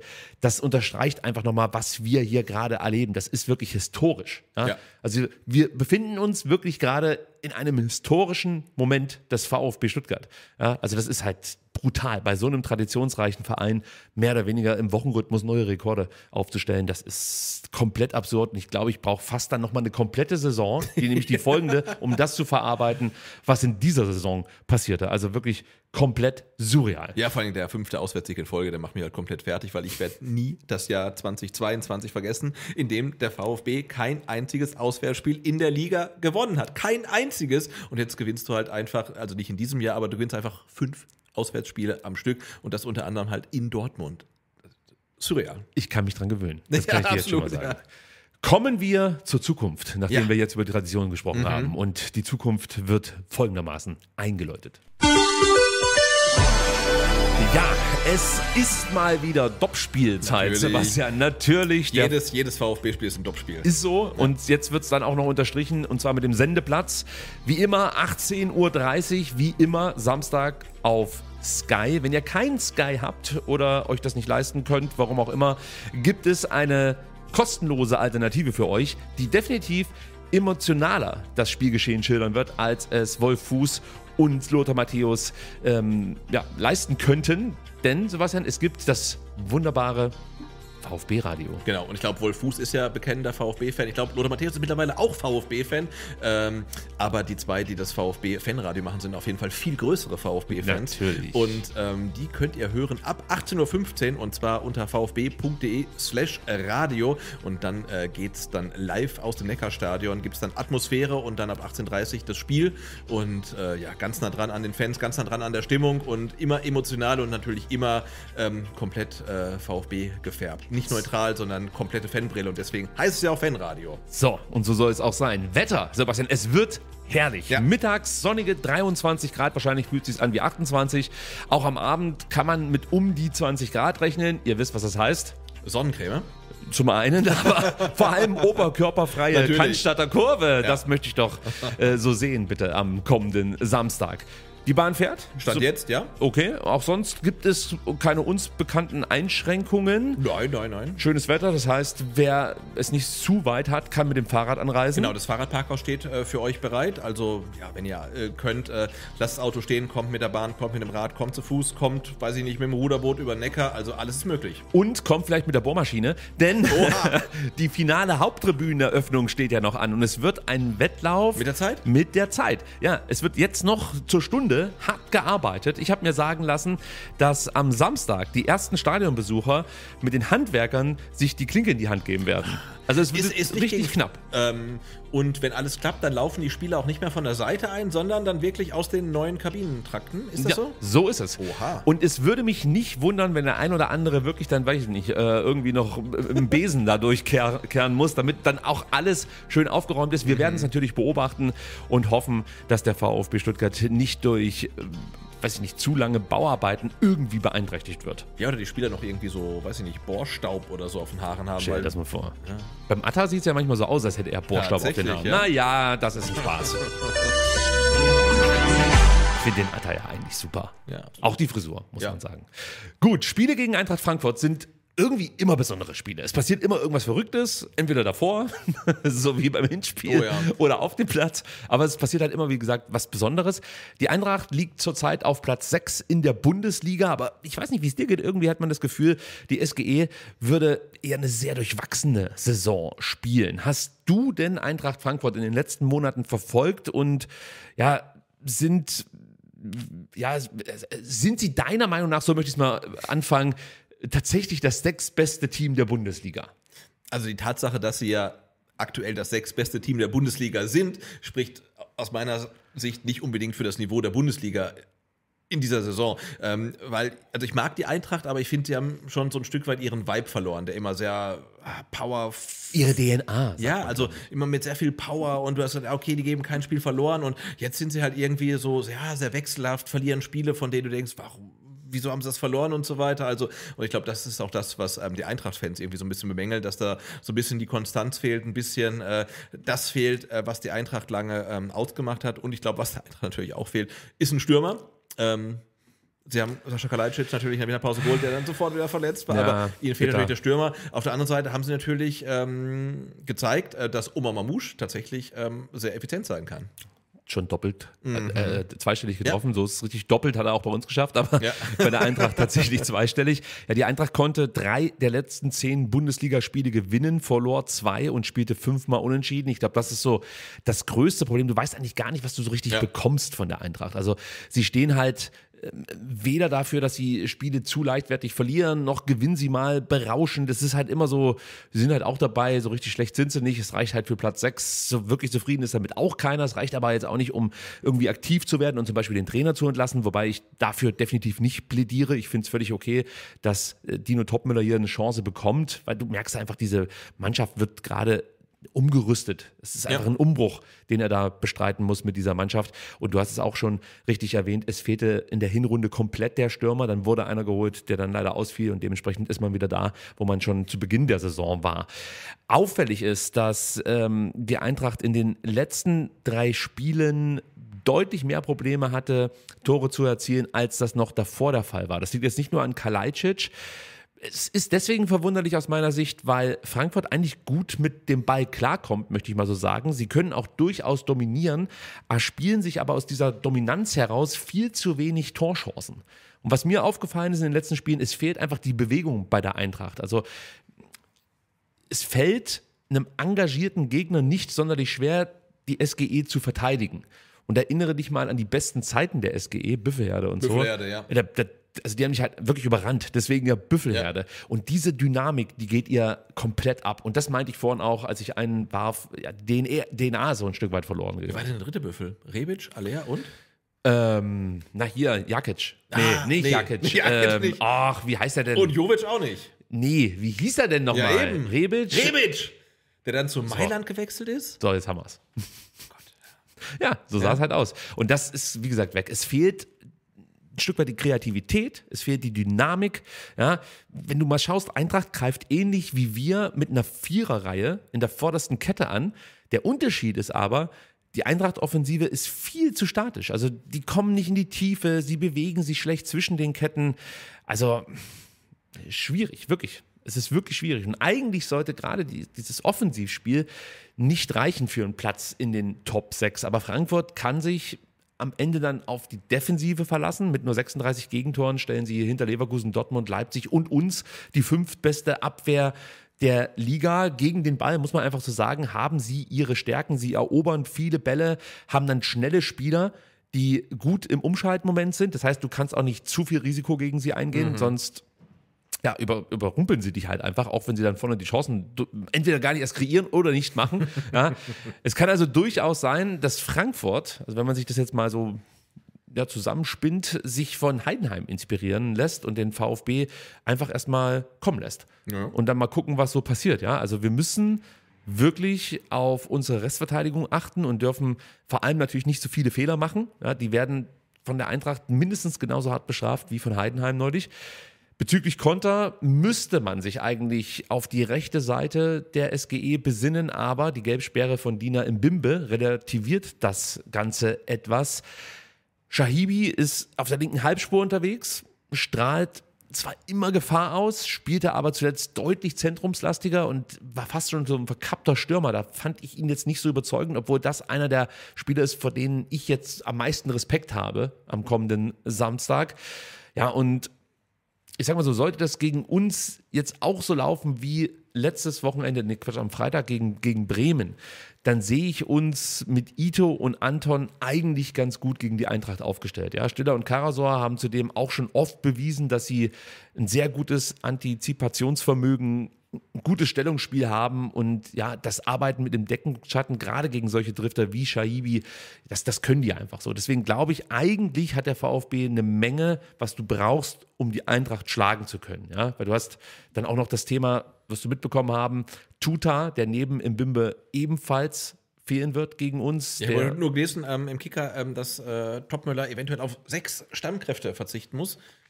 Das klingt für mich da müssen wir noch. Okay. Damit, ja, also es kann uns nur nutzen, aber da müssen wir noch die PK jetzt mal abwarten. Es gibt so ein paar Wackelkandidaten, das ist richtig, aber safe, wie gesagt, im Bimbe und Tuta, der ja auch gesperrt ist. Und der spielte gegen Werder übrigens auf der 6, ist aber eigentlich ein wichtiger Bestandteil in der Innenverteidigung. Also ich glaube, dass Dino Topmüller, selbst wenn nicht alle ausfallen, wie im Kicker hast du gemeint, prognostiziert wurden, dass er sehr kreativ werden muss. Also das äh, sehe ich auf ihn und auf die Eintracht schon zukommen. Der, der Schlüssel für mich wird sein, dass wir eine sehr gute Balance aus vertikalen Vorstößen und einer defensiven Absicherung hinbekommen. Ich glaube, das ist so der Schlüssel, um die Eintracht dann zu knacken. Der VfB ja, in der aktuellen Form aus meiner Sicht in allen Mannschaftsteilen besser aufgestellt als Frankfurt, aber man sollte sich, glaube ich, auf keinen Fall darauf verlassen, denn Mamouche oder Götze, die werden nicht immer einen schlechten Tag haben, ja, und Frankfurt, das muss man einfach sagen, hat eigentlich die Qualität, um mit dem VfB mitzuhalten.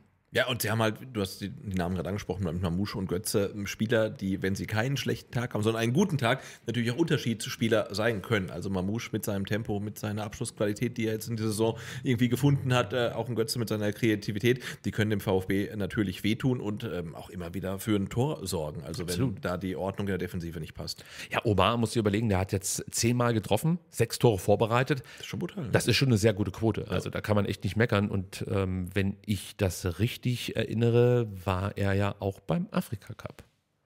Aber das kann auch sein, dass ich mich jetzt hier gerade komplett vertue. ich werde mich jetzt an der Stelle dazu nicht äußern, weil ich gar keine Ahnung habe, ob er dabei war, aber ich glaube eher nicht, oder? Okay, dann vergessen wir das einfach. Und äh, ich erwähne noch ganz kurz Ansgar Knauf. Der war nicht beim Afrika Cup, aber nicht beim ähm, Afrika Cup. spielt bei Frankfurt relativ gut. macht das ganz gut, hat Ja. wieder in die Spiel, äh, Spur zurückgefunden. Ansgar Knauf muss ich immer an dieses Spiel noch zu Corona-Zeiten denken gegen den VfB Stuttgart, als der VfB unter Matarazzo eine gute erste Aufstiegssaison spielte. Ja. Dann kam Dortmund. Wir haben extrem gefeitet, haben uns dann rangekämpft, haben uns unentschieden erzielt und dann kam Ansgar Knauf. Und seitdem habe ich den auf dem Schirm. Dann wurde er mal ausgeliehen nach Frankfurt, ging da kurz mal richtig steil. Ja.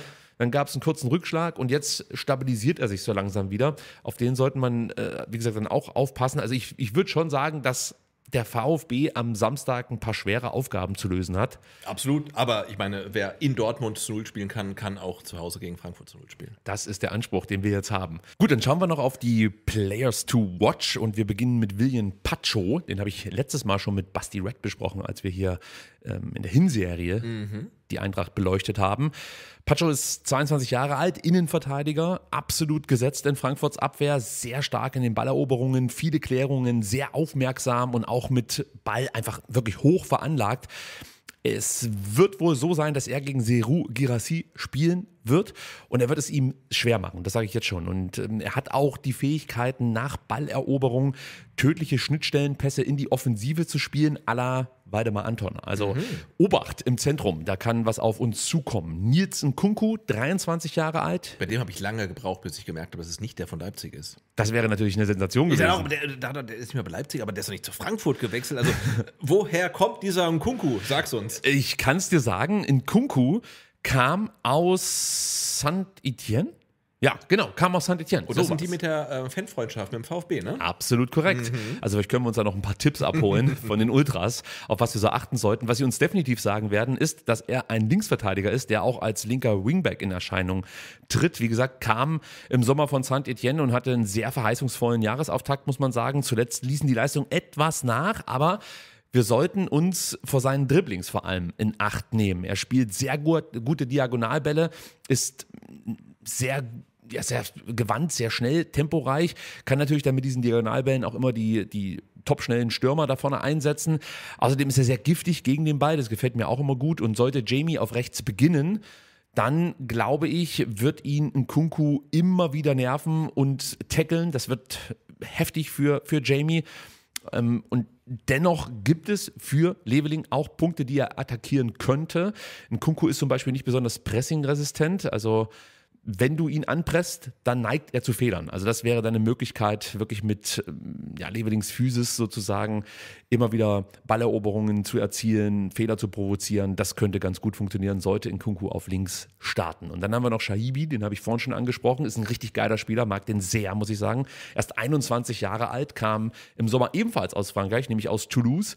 Aber Frankfurt hat auch so eine leichte ähm, frankophile Attitüde, oder? Absolut, also, absolut. Das Scouting kommt mir irgendwie vertraut vor. Und ich finde es bei, bei der Eintracht schon spannend, dass da immer wieder Spieler aufpoppen, poppen, wo man denkt, oh, wo kommt der denn her? Und der ist ja richtig gut halt. Ne? Ja. Also wirklich äh, spannendes Scouting und die holen gute Spieler. Absolut, ein bisschen überteuert. Bei dem einen oder anderen würde ich jetzt wenn, mal so wenn man- behaupten. Wenn man es hat, dann.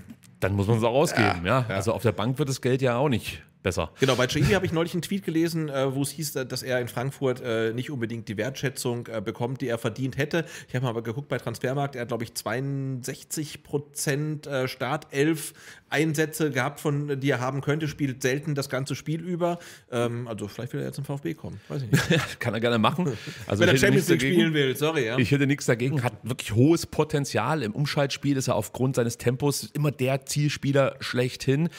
Äh, Gerade Maxi und Angelo werden es wohl häufiger mit ihm zu tun bekommen und er kommt dann, wie gesagt, gerne über die Halbspur, zieht dann nach innen, also so ein klassischer Führig-Move, nur auf der Frankfurter rechten Seite eben. Ja, Positionierung und Timing gegen ihn, das ist der Schlüssel eigentlich. Also so musst du ihn verteidigen, weil vom Tempo her wird es schwierig. Fünf Vorlagen, ein Treffer sind, glaube ich, auch ganz ordentlich. Und wenn er dafür keine Wertschätzung bekommt, dann verstehe ich seinen Unmut absolut. Wir schauen wieder auf unsere Auswahlliste, Sebastian. Ja. Und die ist äh, zum einen ein bisschen kürzer geworden, zum anderen gibt es einen prominenten Neuzugang, nämlich Josh Wagnermann, vorhin schon mal kurz erwähnt. Ermüdungsreaktion im Mittelfuß. Kommt mir bekannt vor. Leider ja, vergangener Sommer.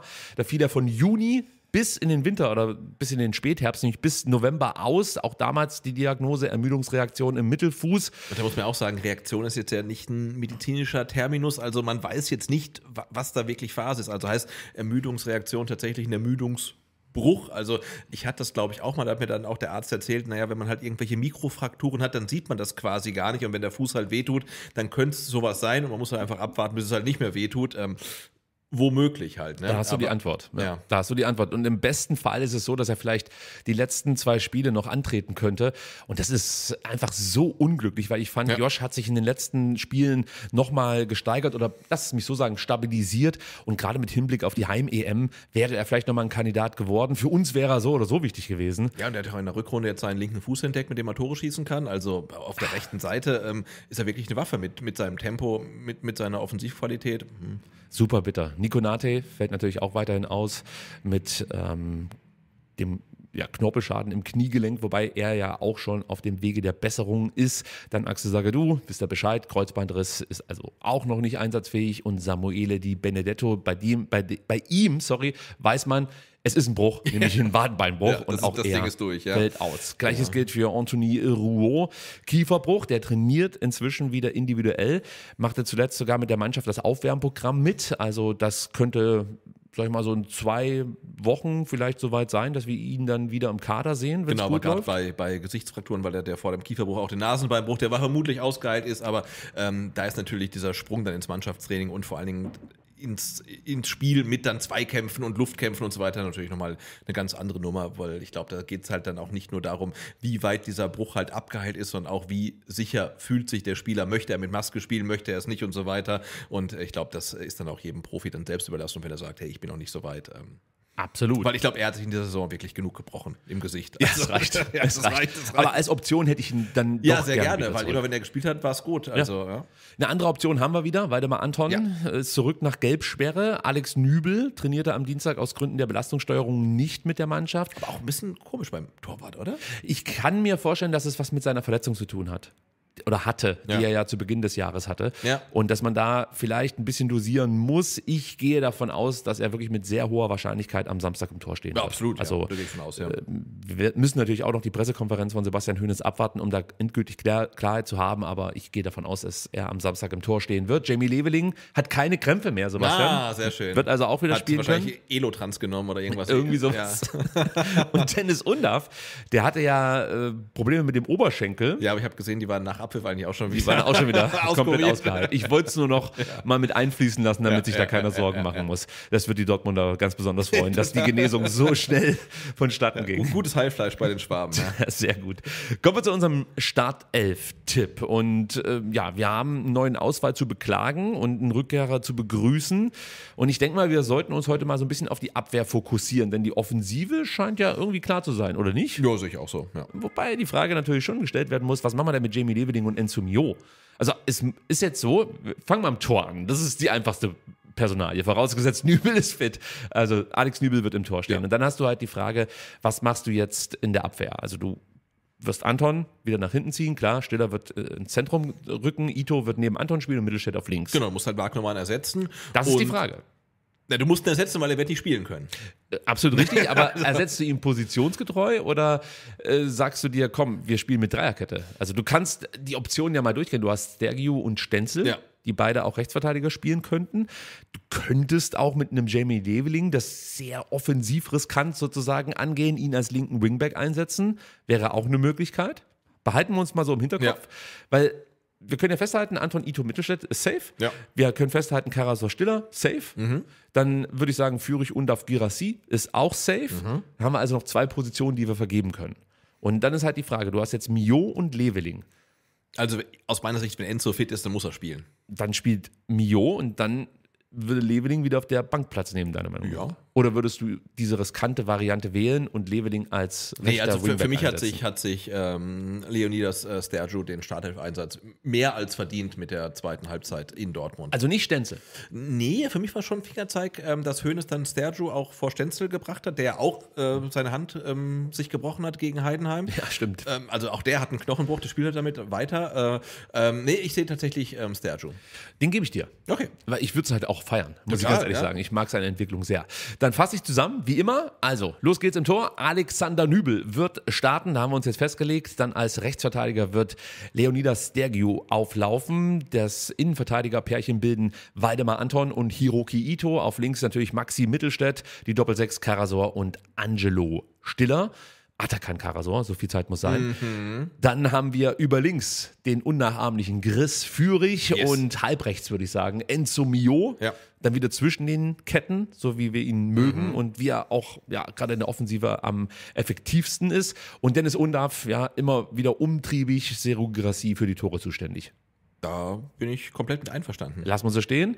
Das freut mich sehr. Und Sebastian, du weißt es, es gibt hier eine Musik auf dem Board, die liebe ich, wenn ich sie abfahren kann. Und die hört sich folgendermaßen an.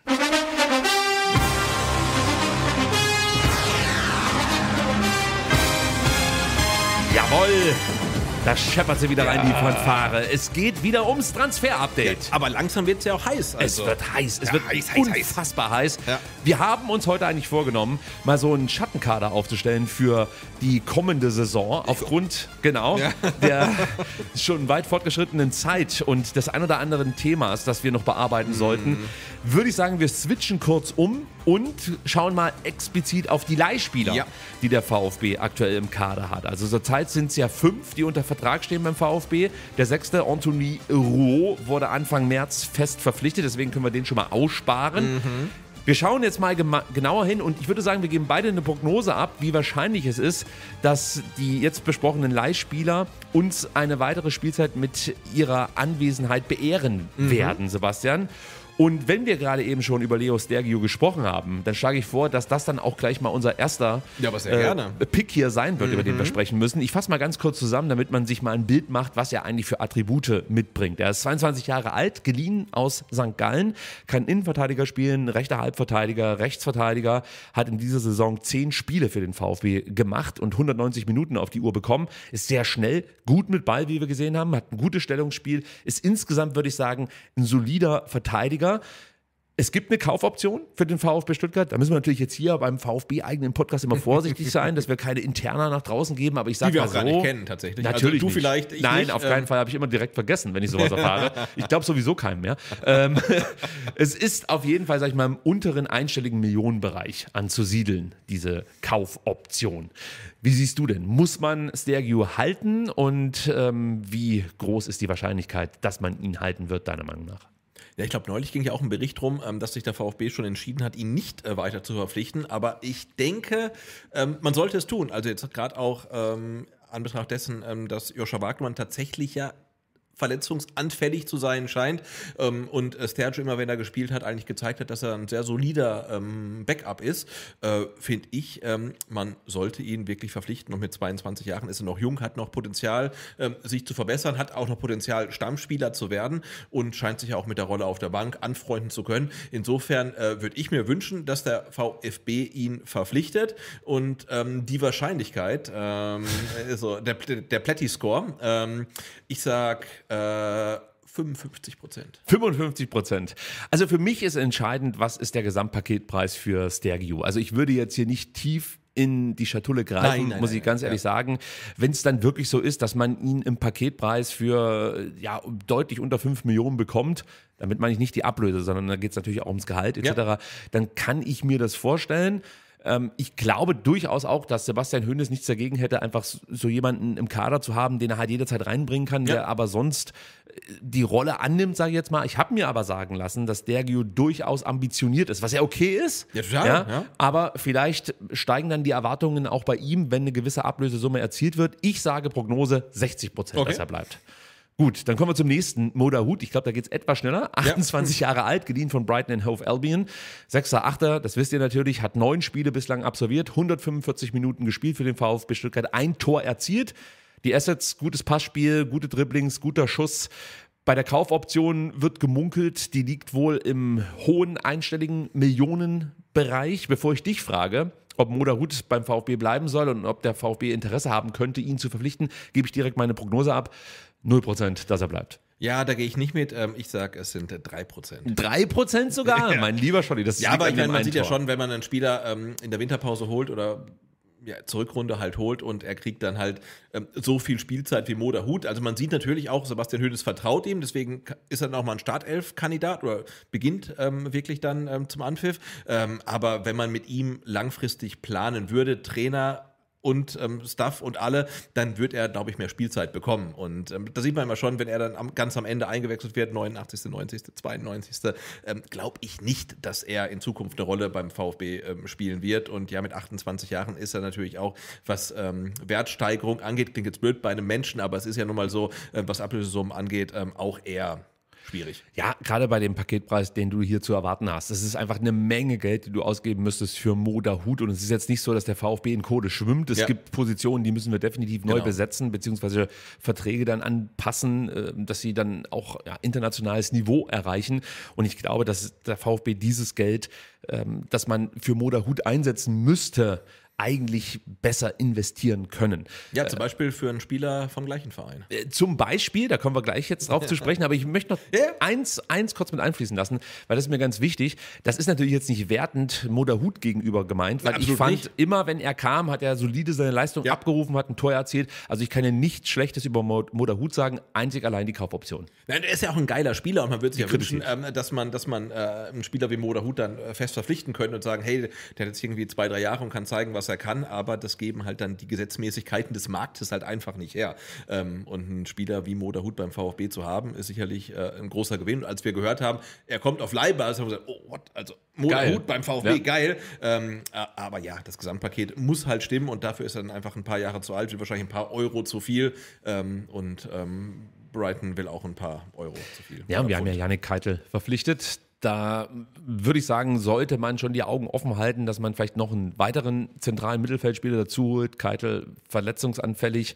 Und ähm, dazu kommt natürlich dann auch noch die Option, dass es ja mal sein könnte, dass Karasor und Stiller ausfallen. Dann hast du zwar noch Mio, aber ja, also ich glaube, Moderhut ist im Gesamtkostenaufwand einfach eine Nummer zu groß für den VfB Stuttgart.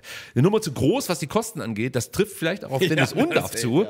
27 Jahre alt, geliehen ebenfalls von Brighton and Hove Albion. Stürmer, hängende Spitze, 10, der kann alles spielen. 24 Spiele gemacht für den VfB Stuttgart. Wir reden hier übrigens immer nur für, äh, über Bundesliga-Einsätze. 1591 Minuten absolviert, 15 Tore geschossen und 8 Vorlagen geliefert. Ja, der wird am Ende der Saison wirklich auf, ähm, wie heißt es denn, äh, beim Basketball? Double Figures, ne? Double Figures, so Double sieht's aus, Figures, ja. Absolut herausragend. Seine Assets, ja, ist der Abschluss natürlich, die Pässe, er ist pressingresistent. Die Mentalität haben wir vorhin schon mal angesprochen. Auch das ist ein wichtig- wichtiges Asset, was nicht jeder Spieler in diesem Kader hat. Die Kaufoption soll angeblich, das habe ich der Presse entnommen, um die 20 Millionen Euro liegen. Ich glaube, die wird ja auch mit jedem Tor, das er schießt und mit jeder Vorlage, die er liefert, auch höher. Ne? Also, ja, also glaub sie ist schon sehr- gedeckelt. aber sie ist irgendwie schon sehr dynamisch äh, verhandelt, weil man, was ja auch völlig okay ist, Ja. ähm, weil man wahrscheinlich auch nicht glaub, dann äh, ähm, geglaubt hat, dass Dennis unter 15 Tore schießt. Ja, also er selbst vielleicht, aber sonst niemand. Ja, also ich glaube natürlich, diese 20 Millionen sollte es wirklich so sein, sind schon auch abschreckend und er möchte natürlich auch jetzt, sag ich mal, im Monat nicht allzu wenig verdienen. Also auch hier wieder massiver Paketpreis, aber wir haben schon ein paar Mal gesagt, um die Tore, die Dennis Undaff und auch die Vorlagen, ähm, die er jetzt hier erzielt hat, beziehungsweise ähm, die Leistungen, die er allgemein erbracht hat, irgendwie kompensieren zu können, wirst du wahrscheinlich nicht äh, viel günstiger rauskommen. Außer du zockst, klar, kann Ja. dir natürlich auch gelingen, dass du einen Spieler holst für fünf oder sechs, sieben Millionen und der ähnlich performt, aber die Wahrscheinlichkeit ist nicht besonders hoch. Du weißt zumindest, was du von Dennis Undaff zu erwarten hast. Und äh, wenn es stimmt, was mir erzählt wurde, ist es auch so, dass man bei Dennis noch ein bisschen abwarten möchte, bis man hier was konkret macht, beziehungsweise mal vorführt. Ähm, und ich würde mal sagen, das wird heiß mh, so Anfang Mai. Dann wird man wohl da in Medias Res gehen und gucken, was so möglich ist. Ich sage trotzdem, der VfB wird alles unternehmen, um Dennis Undaff zu halten. Für mich liegt die Prognose aktuell bei 70 Prozent, Tendenz leicht fallend, aber nur leicht. aber ich würde sagen 70 Prozent, dass wir Dennis Undaff auch in der kommenden Saison hier beim VfB im Trikot auflaufen sehen. Äh, ja, ich glaube, da ist auch ganz, entscheidend, ähm, ob sich der VfB dann äh, möglichst schnell für die Champions League ähm, qualifiziert, weil da kriegst du ja garantierte, was sind es, 35? 1893 Millionen. Also du kriegst 19 Millionen Antrittsprämie Ja. plus vier Heimspiele, da bist du bei habe ich, hab ich neun, was habe ich jetzt gesagt? Weiß ich nicht. 1893 Ja, sind es. 18,93 Millionen. So. Ja, genau. Plus, äh, also als Antrittsprämie, plus vier garantierte Heimspiele. Also da hast du einen Dennis Undaff quasi schon finanziert. Ähm, Zumindest mal die Ablöse. zumindest die Ablöse. ja. Ähm, ja, und ähm, ich denke auch, dass der VfB alles dafür tun wird, dass er hier in Stuttgart äh, bleibt. Und entscheidend ist ja auch, er fühlt sich hier ganz offensichtlich wohl. Ich habe jetzt äh, gerade neulich in irgendeinem, was war das, ein Twitch-Stream gesehen mit Ja. ihm und Jamie Leveling. Ja. Wolltest du jetzt wieder darauf abzielen, dass er bei uns auch mal zu Nein, Gast sein ich, ich, hab's nur, ich wollte es nur kurz mal einfließen Kann mir lassen. nicht vorstellen, dass das im nein, Interesse wird des Vereins interessieren. Nein, aber ähm, also er scheint sich hier wohlzufühlen und ähm, insofern glaube ich, dass die gemeinsame Reise äh, mit Dennis Undaff Sehr gut. äh, und dem VfB wirklich äh, weitergehen könnte. Äh, Prognose 70 Prozent äh, finde ich optimistisch. Ich sag äh, 62. Okay, nehmen wir so. Ist protokolliert. Mhm. Und wenn wir schon Jamie Leveling, Leveling gerade adressierten, dann Ja. können wir eigentlich auch gleich über ihn sprechen. 23 Jahre alt, ausgeliehen von Union Berlin. Offens ja. ja. pfui. Offensiv würde ich sagen, polyvalent einsetzbar, kann auch als rechter Mittelfeldspieler spielen oder rechter Wingback. Vielleicht sehen wir das sogar am Samstag, obwohl wir uns jetzt dagegen entschieden haben. Er hat 28 Spiele gemacht für Mhm. Den VfB Stuttgart, 1069 Minuten absolviert, echt viel, ne? drei Tore geschossen und sechs Vorlagen, Sechs bei, Vorlagen? Ja, beigesteuert. Seine Qualitäten, Dribblings, die Physis, Flanken, Tempo, grundsätzlich sein Einsatzwille, alles das bringt er mit. Die Kaufoption liegt, auch das ist wieder aus der Presse entnommen, circa bei 5 Millionen Euro. Und ich sag mal so, also Jamie Leveling hat sich wirklich von Woche zu Woche weiterentwickelt. Er hat immer noch Schwankungen drin, finde ich aber nicht groß verwunderlich. Mit Ja. 23 Jahren ist das immer noch möglich. Aber du siehst eigentlich in jedem Spiel sein Potenzial, das er mitbringt.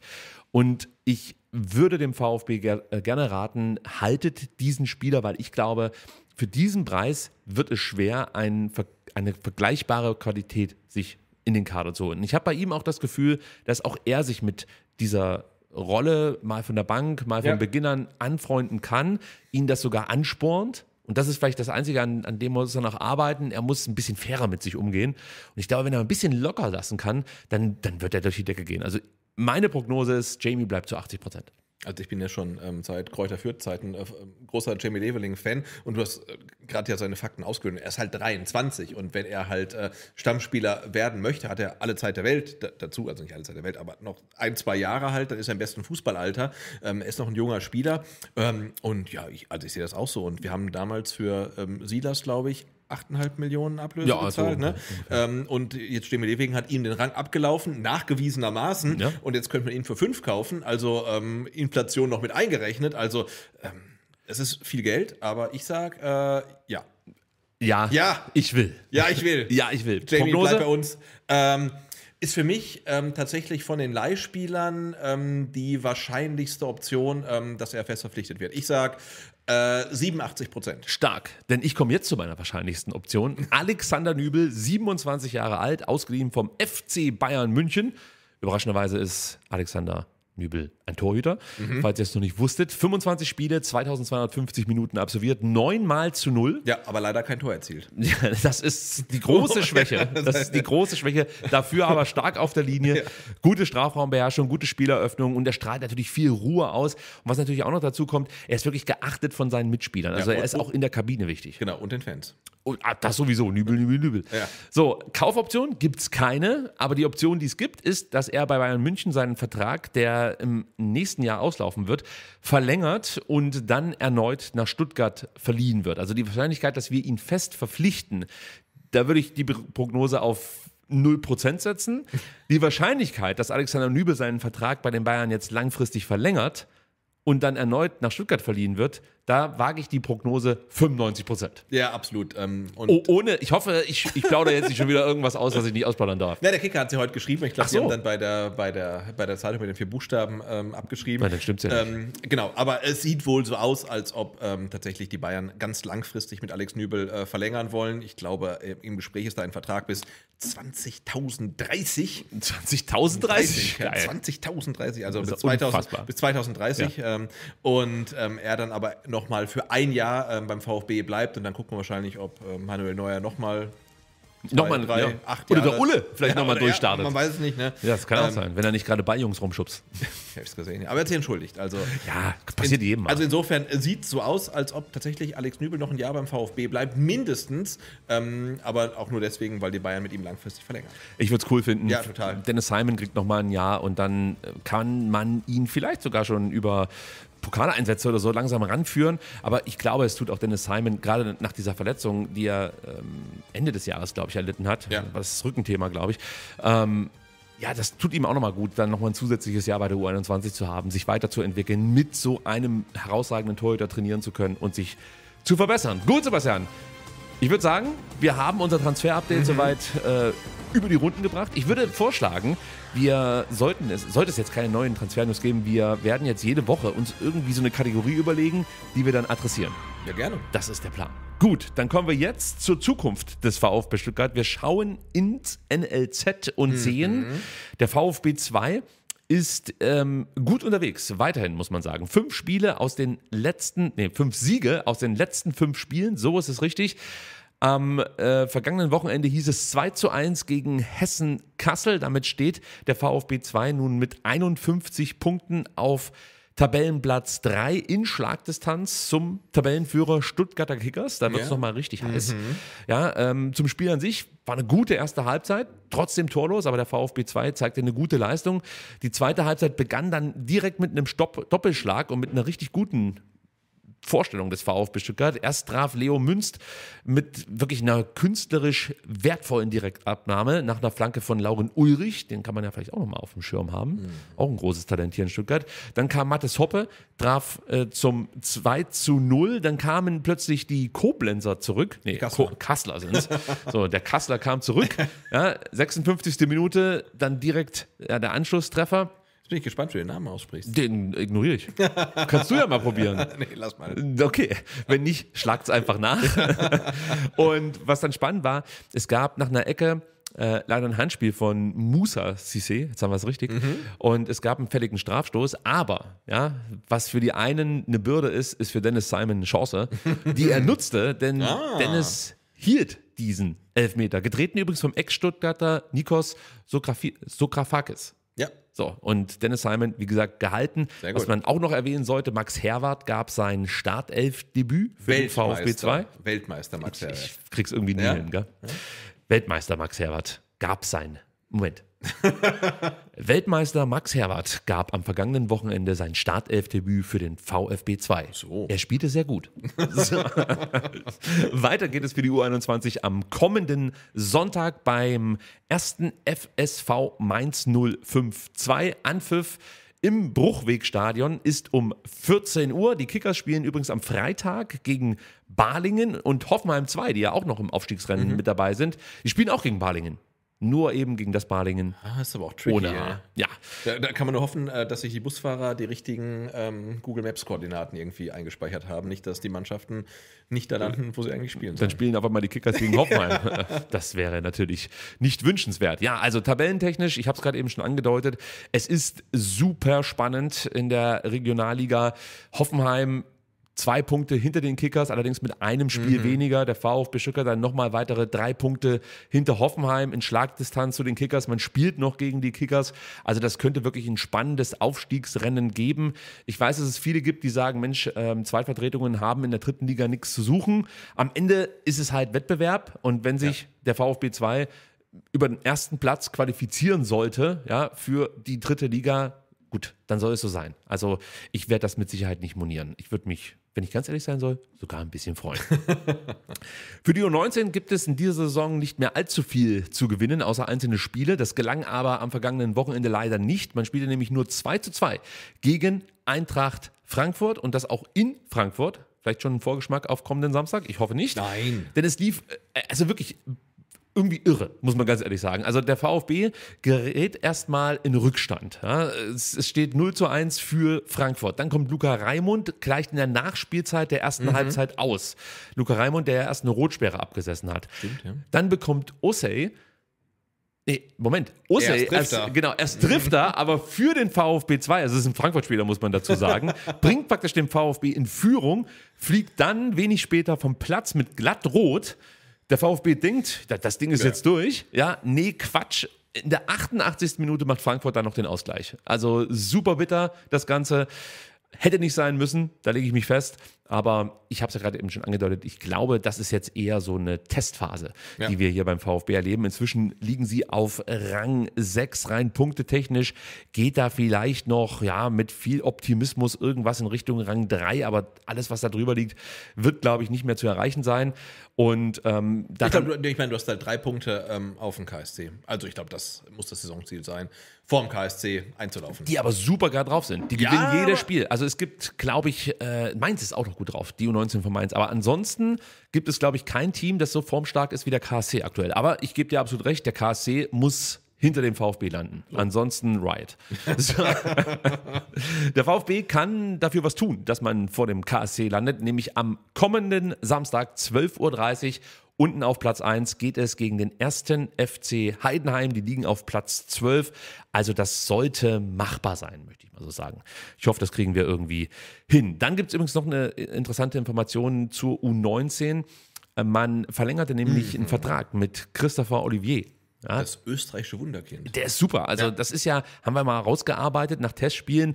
Im Endeffekt so eine Art Atakan Karasor, nur in deutlich jünger.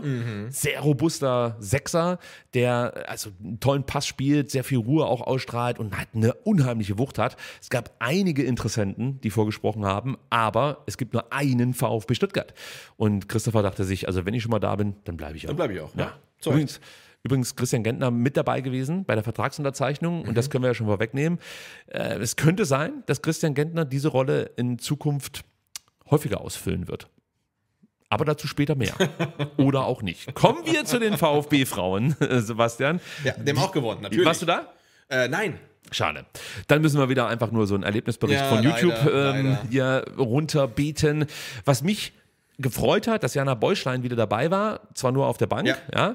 sie holt sich immer noch von der Erkrankung, aber da ist praktisch ja, Ende der Fahnenstange erreicht und sie müsste jetzt dann irgendwann wieder regelmäßig spielen können. Muss sich ihren Platz aber im Sturm erstmal wieder erkämpfen gegen Farah Jusufic, die ähm, aus der äh, zweiten Mannschaft äh, quasi hochgekommen ist, der jetzt auch einen Profivertrag unterschrieben hat bei den VfB-Frauen und dann ähm, bei ihrem Startelfdebüt sofort auch doppelt getroffen hat. Ne? Richtig abgeliefert hat, Ja. wirklich ein technisch, technisch richtig starkes Tor zur 1 zu 0 Führung erzielt hat. Das war schon bärenstark. Ja, die hat Torinstinkt, die Dame. Das 4 zu 0 hat sie dann auch noch gemacht. Das könnte man das Ergebnis vielleicht auch mal zwischendrin sagen. Also der VfB spielte 4 zu 0 gegen Gottenheim. Und wie gesagt, erstes Tor Farah Yusufovic, dann das vierte Tor ebenfalls von Farah Yusufovic. Aber wenn ihr glaubt, dass das schon der Hammer ist, ja, das ist noch nicht der Hammer. Ich empfehle euch sehr, Ja. auf dem YouTube-Kanal des VfB Stuttgart die Zusammenfassung euch anzuschauen. Dann seht ihr, dass Mandy Islacker nach einer Ecke mit einem Lupfer noch das 2 zu 0 erzielt und dann Das, das übliche Traumtor äh, von Laureta Temay, eigentlich an jedem Spieltag, aber ich glaube, das war jetzt ihr Bestes, oder? Also ich glaube, der hat aus Mettingen geschossen.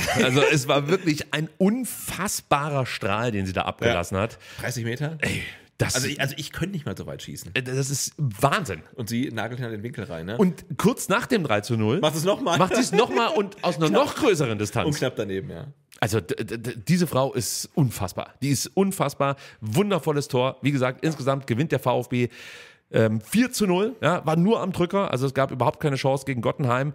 Ähm, leider Gottes muss man sagen, hat auch Sand 2 einen ganz guten Tag erwischt. Die gewannen 5 zu 0 gegen den KSC 2, aber wir haben ja in der letzten Ausgabe schon rausgearbeitet, dass äh, der KSC 2 und Gottenheim Not Ja. gegen Elend würde ich es vielleicht äh, umschreiben. Also vielleicht nicht die Kragenweite dieser beiden Mannschaften äh, sein sollte, die jetzt aktuell um den Aufstieg sich betteln. Der VfB bleibt weiterhin Tabellenführer, hat 42 Punkte, Sand 2 40 Punkte. Alles, was darunter liegt, könnt ihr getrost vergessen. Genau, Herrenberg war halt eben auch, haben sich ein bisschen verabschiedet aus dem Aufstiegsrennen. Also es ist ein Zweikampf. Äh, Also absolut, es ist ein Zweikampf und du siehst halt die eine Mannschaft, also eigentlich sind beide Mannschaften enorm stark, aber der VfB Stuttgart hat tatsächlich schon 63 Tore in 15 Spielen erzielt. Ja. Sand 2, die ja auch richtig gut unterwegs sind, kommen nur auf 49 Tore. Ja, in der Defensive ist es so, dass Sand 2 sieben Treffer Gegentore kassiert hat und der VfB bereits acht, wenn man so möchte. Und wir hoffen natürlich, dass wir da die Tordifferenz ähm, ja, noch deutlicher ausgestalten können. Spätestens dann mit dem entscheidenden Duell, das können wir, denke ich mal, vorweg, vorwegnehmen, gegen Sand 2. Denn das wird über Ja, den Aufstieg absolut. entscheidend sein. Was auch entscheidend sein wird, ist, dass der VfB nicht irgendwie versehentlich stolpert. Und ich gehe mal nicht davon aus, dass das am kommenden Samstag um 14 Uhr in deren Dingen der Fall sein wird. Denn deren Dingen liegt aktuell auf Platz 9. Das ist der Relegationsrang in der Oberliga jetzt kurzer ähm, obligatorischer Geografiecheck. Deren Dingen, wo liegt es? Ich habe keine Ahnung. in Deutschland. Okay. Also ich hätte jetzt gesagt bei Tübingen. Hätte ich, hätte ich tatsächlich auch Du gesagt. googelst. Aber dann, aber, dann- nee, aber dann stimmt's nicht. Ich, ich guck mal Du kurz. googelst, ich sag, deren Dingen liegt bei Tübingen und verrate euch, solange der Sebastian herausfindet, wie falsch wir diesmal liegen, dass es an zwei nicht so weit fahren muss. Die müssen nämlich äh, nach Freiburg zu St. Georgen Und äh, das ist, glaube ich, und hier kommt wieder der Geografiefachmann durch, Sand und Freiburg ist, glaube ich, jetzt keine allzu große Distanz. Sebastian, löse bitte auf. Also deren Ding, ähm, ich äh, zitiere Wikipedia, im lokalen Dialekt äh, dere Dinge. Dere Dinge. Dere Dinge ist ein Stadtteil der Universitätsstadt Tübingen. Also wir waren da. Ja, also richtig, so sieht's aus. Also mir ja. soll noch mal einer sagen, ich hätte keine Ahnung von Geografie. So, Wurdest du das Heger, glaube ich, in den Schwarzwald gelegt, oder? Jetzt reicht's aber. Okay. Wann findet eigentlich das WFV-Pokalfinale statt, Sebastian? Das will ich noch kurz erwähnen, das ist am 9. Mai ähm, und es findet in Hegnach statt. Angeblich äh, wird es gelost, also Hegnach und äh, der VfB sind die Finalgegner. Angeblich, was ist denn das für eine Nein, wüste also- Unterstellung? Nein, es wird gelost, Okay. aber, aber niemand weiß, wann und wo und Dann wer. machen wir es jetzt. Weil ich, ich jetzt nach, nach Obertürkheim gelost, aber also es findet in Hegnach statt, ähm, das ist bei Weiblingen. Ähm, Anschluss ist am 9. Mai um 16 Uhr. Ich dachte auch, was ist das für ein Scheiß? Äh, am Donnerstag um 16 Uhr, aber es ist Himmelfahrt. Es ist Feiertag, also geht hin, nehmt euch am Freitag am besten den Brückentag und dann können wir den Pokalsieg ähm, auch feiern. Also ich werde auf jeden Fall da sein. Ähm, und wir hatten beim letzten Mal gesagt, dass ja im Pokal-Halbfinale Ja. gegen Herrenberg Nadine Geiring die gelb-rote Karte bekommen hat und deswegen im Pokalfinale gesperrt ist. Das stimmt nicht, weil sie war jetzt gesperrt im Ligaspiel. Warum auch immer. Und sie kann jetzt im Pokalfinale spielen. Warum, weiß nur ähm, derjenige, der auch die Partie ausgelost hat. Gut, dann äh, warten wir weiterhin auf Antworten von dieser Person. Und Sebastian, wir beschäftigen uns jetzt zum Abschluss Wir dieser gehen dahin, wo es Ausgabe wehtut, ja. wieder mit dem Lieblingsthema aller VfB-Fans, Mhm. der Vereinspolitik. Wir haben heute, als wir uns hier getroffen haben, im Fanprojekt schon angemerkt, naja, irgendwie so langsam aber sicher schlägt sich diese schlechte Stimmung doch dann auch auf unsere Lust nieder, Spiele des VfB Stuttgart zu begleiten. Du hast gesagt, Ja, du saßt am Samstag bei einem Geburtstag, wolltest eigentlich nach Hause, um das Spiel zu gucken, dachtest dir dann, ach komm, weißt du was, ich bleib hier, kann mich mit normalen Menschen unterhalten, das ist eigentlich auch nicht so schlimm. Ja, aber ähm, um es dann ähm, aus, komplett auszuführen, ich bin dann nach Hause gegangen und habe dann, glaube ich, in der 88. irgendwie eingeschaltet, habe dann eine Chance für einen, v für, für einen BVB gesehen und dachte, ich mache sofort wieder aus. Ich habe jetzt nichts gesehen, äh, der VfB führt und ich war dann wirklich zu Hause, saß auf dem Bett, äh, habe das Handy in der Hand gehalten und habe auf die Push-Nachricht gewartet, dass der VfB gewonnen hat. Dann kam sie endlich und dann war ich komplett erleichtert. Aber nee, also ähm, mir hat dieser ganze Hickhack um Aufsichtsrat und Rücktrittsforderungen und diesem und jenem und Personalruchhaden schon so ein bisschen die Lust an dieser überragenden Saison genommen. Das ist leider so. Ja, das ist ziemlich traurig. Wenn es euch ähnlich geht, dann äh, mein Beileid an der Stelle. Ich ergötze mich dann doch schon noch sehr am Spiel des VfB Stuttgart. Aber ihr sollt um Vereinspolitik gehen. Ihr merkt schon, wir drücken uns. Denn es gibt mal wieder was zu vermelden. Heute um 13 Uhr wurde über die Vereinskanäle des VfB Stuttgart bekannt gegeben, dass Christian Riedmüller als Präsidiumsmitglied und Auf- Aufsichtsratsmitglied zurücktreten würde. Es gab erstmal ein sehr überschaubares Statement des VfB dazu. Sebastian, wenn du es gerne mal mit uns teilen würdest. Genau, ich glaube, es kam ja zwei, drei Stunden später nach der äh, Meldung, dass Christian Riedmüller zurückgetreten ist von seinen Ämtern. Ich meinte die erste Meldung, die wirklich nur so ein. Ach, die meinst Ja. du? Ich, also okay, ja, da da kam, weil das zweite Statement war auch überschaubar, weil das allererste Statement vom VfB war, Christian Riedmüller hat an diesem Mittwoch, 10. April 2024, die Organe des VfB, insbesondere das Präsidium und den Aufsichtsrat, darüber informiert, dass er seine Ämter als Mitglied des Präsidiums des VfB Stuttgart 1893 e.V. und des Aufsichtsrats des, der VfB Stuttgart 1890 1893 AG mit sofortiger Wirkung niederlegt. Und dann dachte ich zuerst, jetzt gehe ich auf Twitter und schreibe, wer von euch war das? Weil ich dachte, die Webseite wäre gehackt worden. Aber es sollte sich herausstellen, jawohl, Christian Riedmüller ist tatsächlich zurückgetreten. Später am Nachmittag gab es dann noch eine weitere Meldung auf vfb.de. Dort dankte man Christian Riedmüller dann für sein Engagement. Sebastian, und der Vollständigkeit halber darfst du nochmal. Genau, das lese ich gerne vor. Ähm, der VfB Stuttgart dankt Christian Riedmüller. Das Präsidium und der Vereinsbeirat des VfB Stuttgart 1893 e.V. danken im Namen des gesamten Vereins Christian Riedmüller für sein großes persönliches Engagement als Mitglied des Präsidiums und des Aufsichtsrats. Christian Riedmüller gehörte dem Präsidium von Juli 2021, dem Aufsichtsrat von August 2021 an und hat in dieser Zeit seinen Teil zur Weiterentwicklung des VfB Stuttgart beigetragen. Wir wünschen Christian alles Gute und würden uns freuen, wenn er dem Verein auch weiterhin verbunden bleibt. Das Präsidium und der Vereinsbeirat ähm, des VfB Stuttgart 1893 e.V. Ja, alles etwas überschaubar, Ja. etwas ausführlicher war dann Christian Riedmüllers Begründung, die er via Facebook auslieferte. Also ist auch okay. Ja, man, man, man kann das alles so machen. Also ähm, Ich habe gerade überlegt, weil ich, also um es jetzt mal konkret zu machen, ich finde es natürlich dann schon irgendwie komisch, wenn du auf Facebook sozusagen deinen deinen Rücktritt begründest. Jetzt nicht, das Es- werde ich nicht als Angriff oder sonst Nein, irgendwas. nein, nein. Nee, aber ich, ähm, ich finde die Form auch komisch. Ähm, ich, ich hätte es halt auch nicht schlecht gefunden, wenn man das über die VfB-Seite vielleicht nicht in dieser Ausführlichkeit, wir werden gleich darüber sprechen, abgedruckt hätte. Aber ich finde so eine Begründung, das wäre irgendwie noch was gewesen, was man den Mitgliedern geben kann.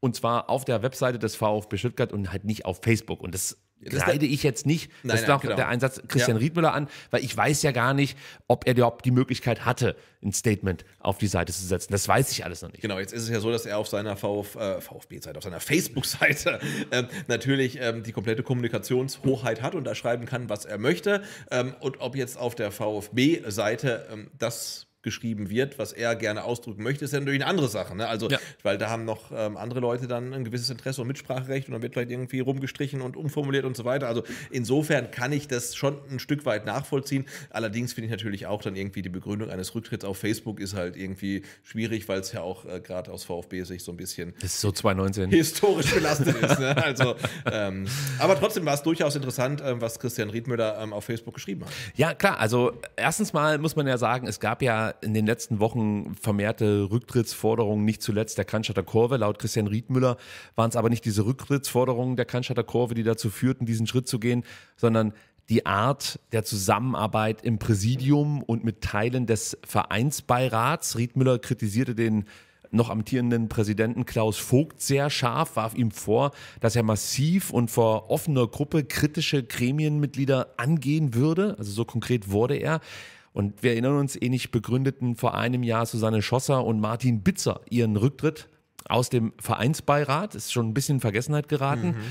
Christian adressierte auch die Initiative Zukunft VfB. Hier gab es ja zuletzt die Vorwürfe, er hätte im Hintergrund ja, an dieser Petition, an dieser Initiative mitgewirkt und die hatte das Ziel, dass Klaus Vogt eben zurücktritt. Und was vielen, glaube ich, sauer aufstieß, war damals, oder wahrscheinlich immer noch, dass Zukunft VfB sich nur auf den Rücktritt Vogts fokussiert und Riedmüller und Adrian aus der Verantwortung eigentlich nimmt, obwohl man zumindest auch beiden vorwerfen kann, dass sie ja durchaus auch ihre Rolle mitspielten, zum Beispiel im Porsche-Deal und womöglich dann auch in irgendwelchen Zusicherungen, was äh, die Abgabe des Aufsichtsratsvorsitzes betrifft. Da gibt es nichts Konkretes, aber zumindest mal wird das so kolportiert über die Presse.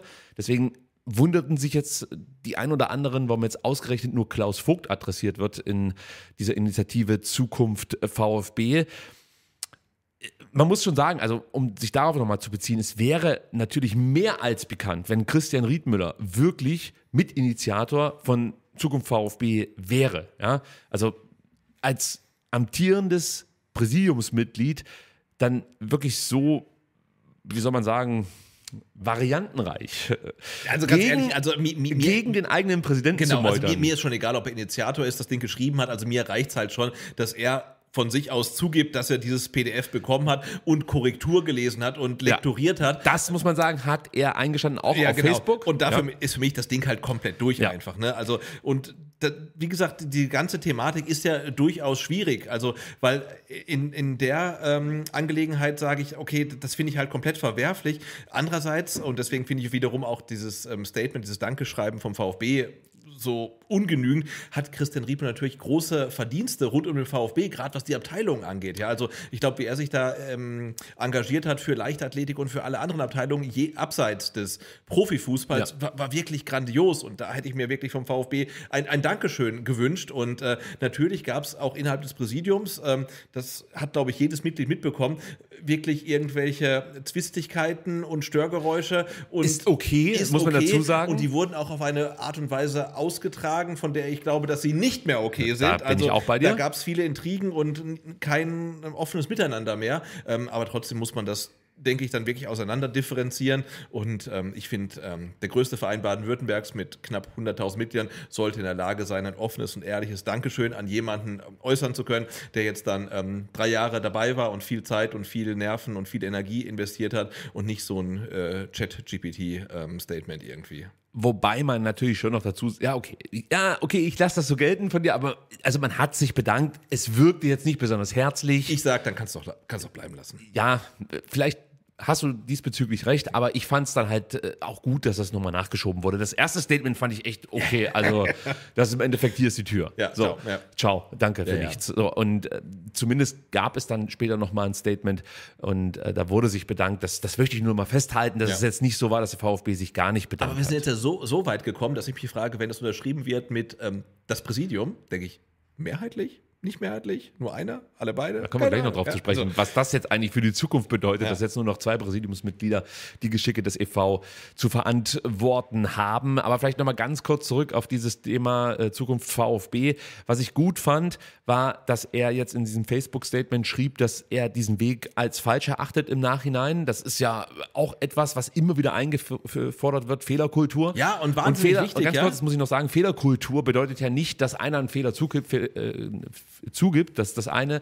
Fehlerkultur bedeutet halt eben auch, dass wir dann bereit sind zu sagen, okay, der hat seinen Fehler eingestanden absolut, und ja. ja. jetzt geht's halt weiter nach vorne. Aber ich bin auch bei dir. Nach so einem Schritt ist es für mich schwer, für die Zukunft Vertrauen zu haben in die handelnden Personen. Ich kenne natürlich auch nicht alle Umstände, die dazu führten, aber das kann nicht der gangbare Weg sein. Das geht nicht.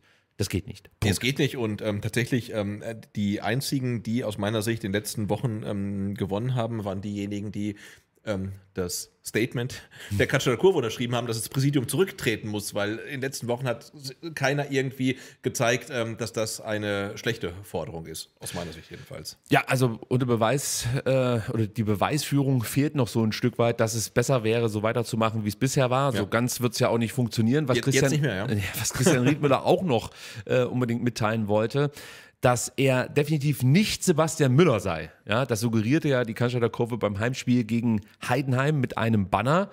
Ja, und jetzt, Sebastian, wirst du gleich gefordert sein, denn du wirst jetzt den Rest des Statements verlesen dürfen. Denn ich fand es ganz spannend, als Riedmüller dann über die Herausforderungen anhob, die laut seiner Einschätzung vor dem VfB liegen würden. Nimm uns doch mal mit, was Christian Riedmüller dazu schrieb. Genau, ich möchte äh, vorher noch ähm, kurz klarstellen, auch ich bin nicht Sebastian Müller.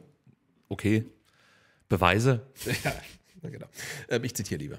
Also, die Herausforderungen für unseren VfB liegen auf einer ganz anderen Ebene. Wir brauchen das Weltmarkenbündnis von Mercedes, Porsche und VfB, weil es notwendig ist, um die herausragenden Ergebnisse unserer Mannschaft finanziell abzusichern. Der VfB hat das Riesenglück, dass seine Partner nicht aus finanziellem Interesse handeln, sondern ihr Engagement für die Region durch den Schulterschluss mit einem international erfolgreichen Fußballverein emotional erlebbar machen wollen.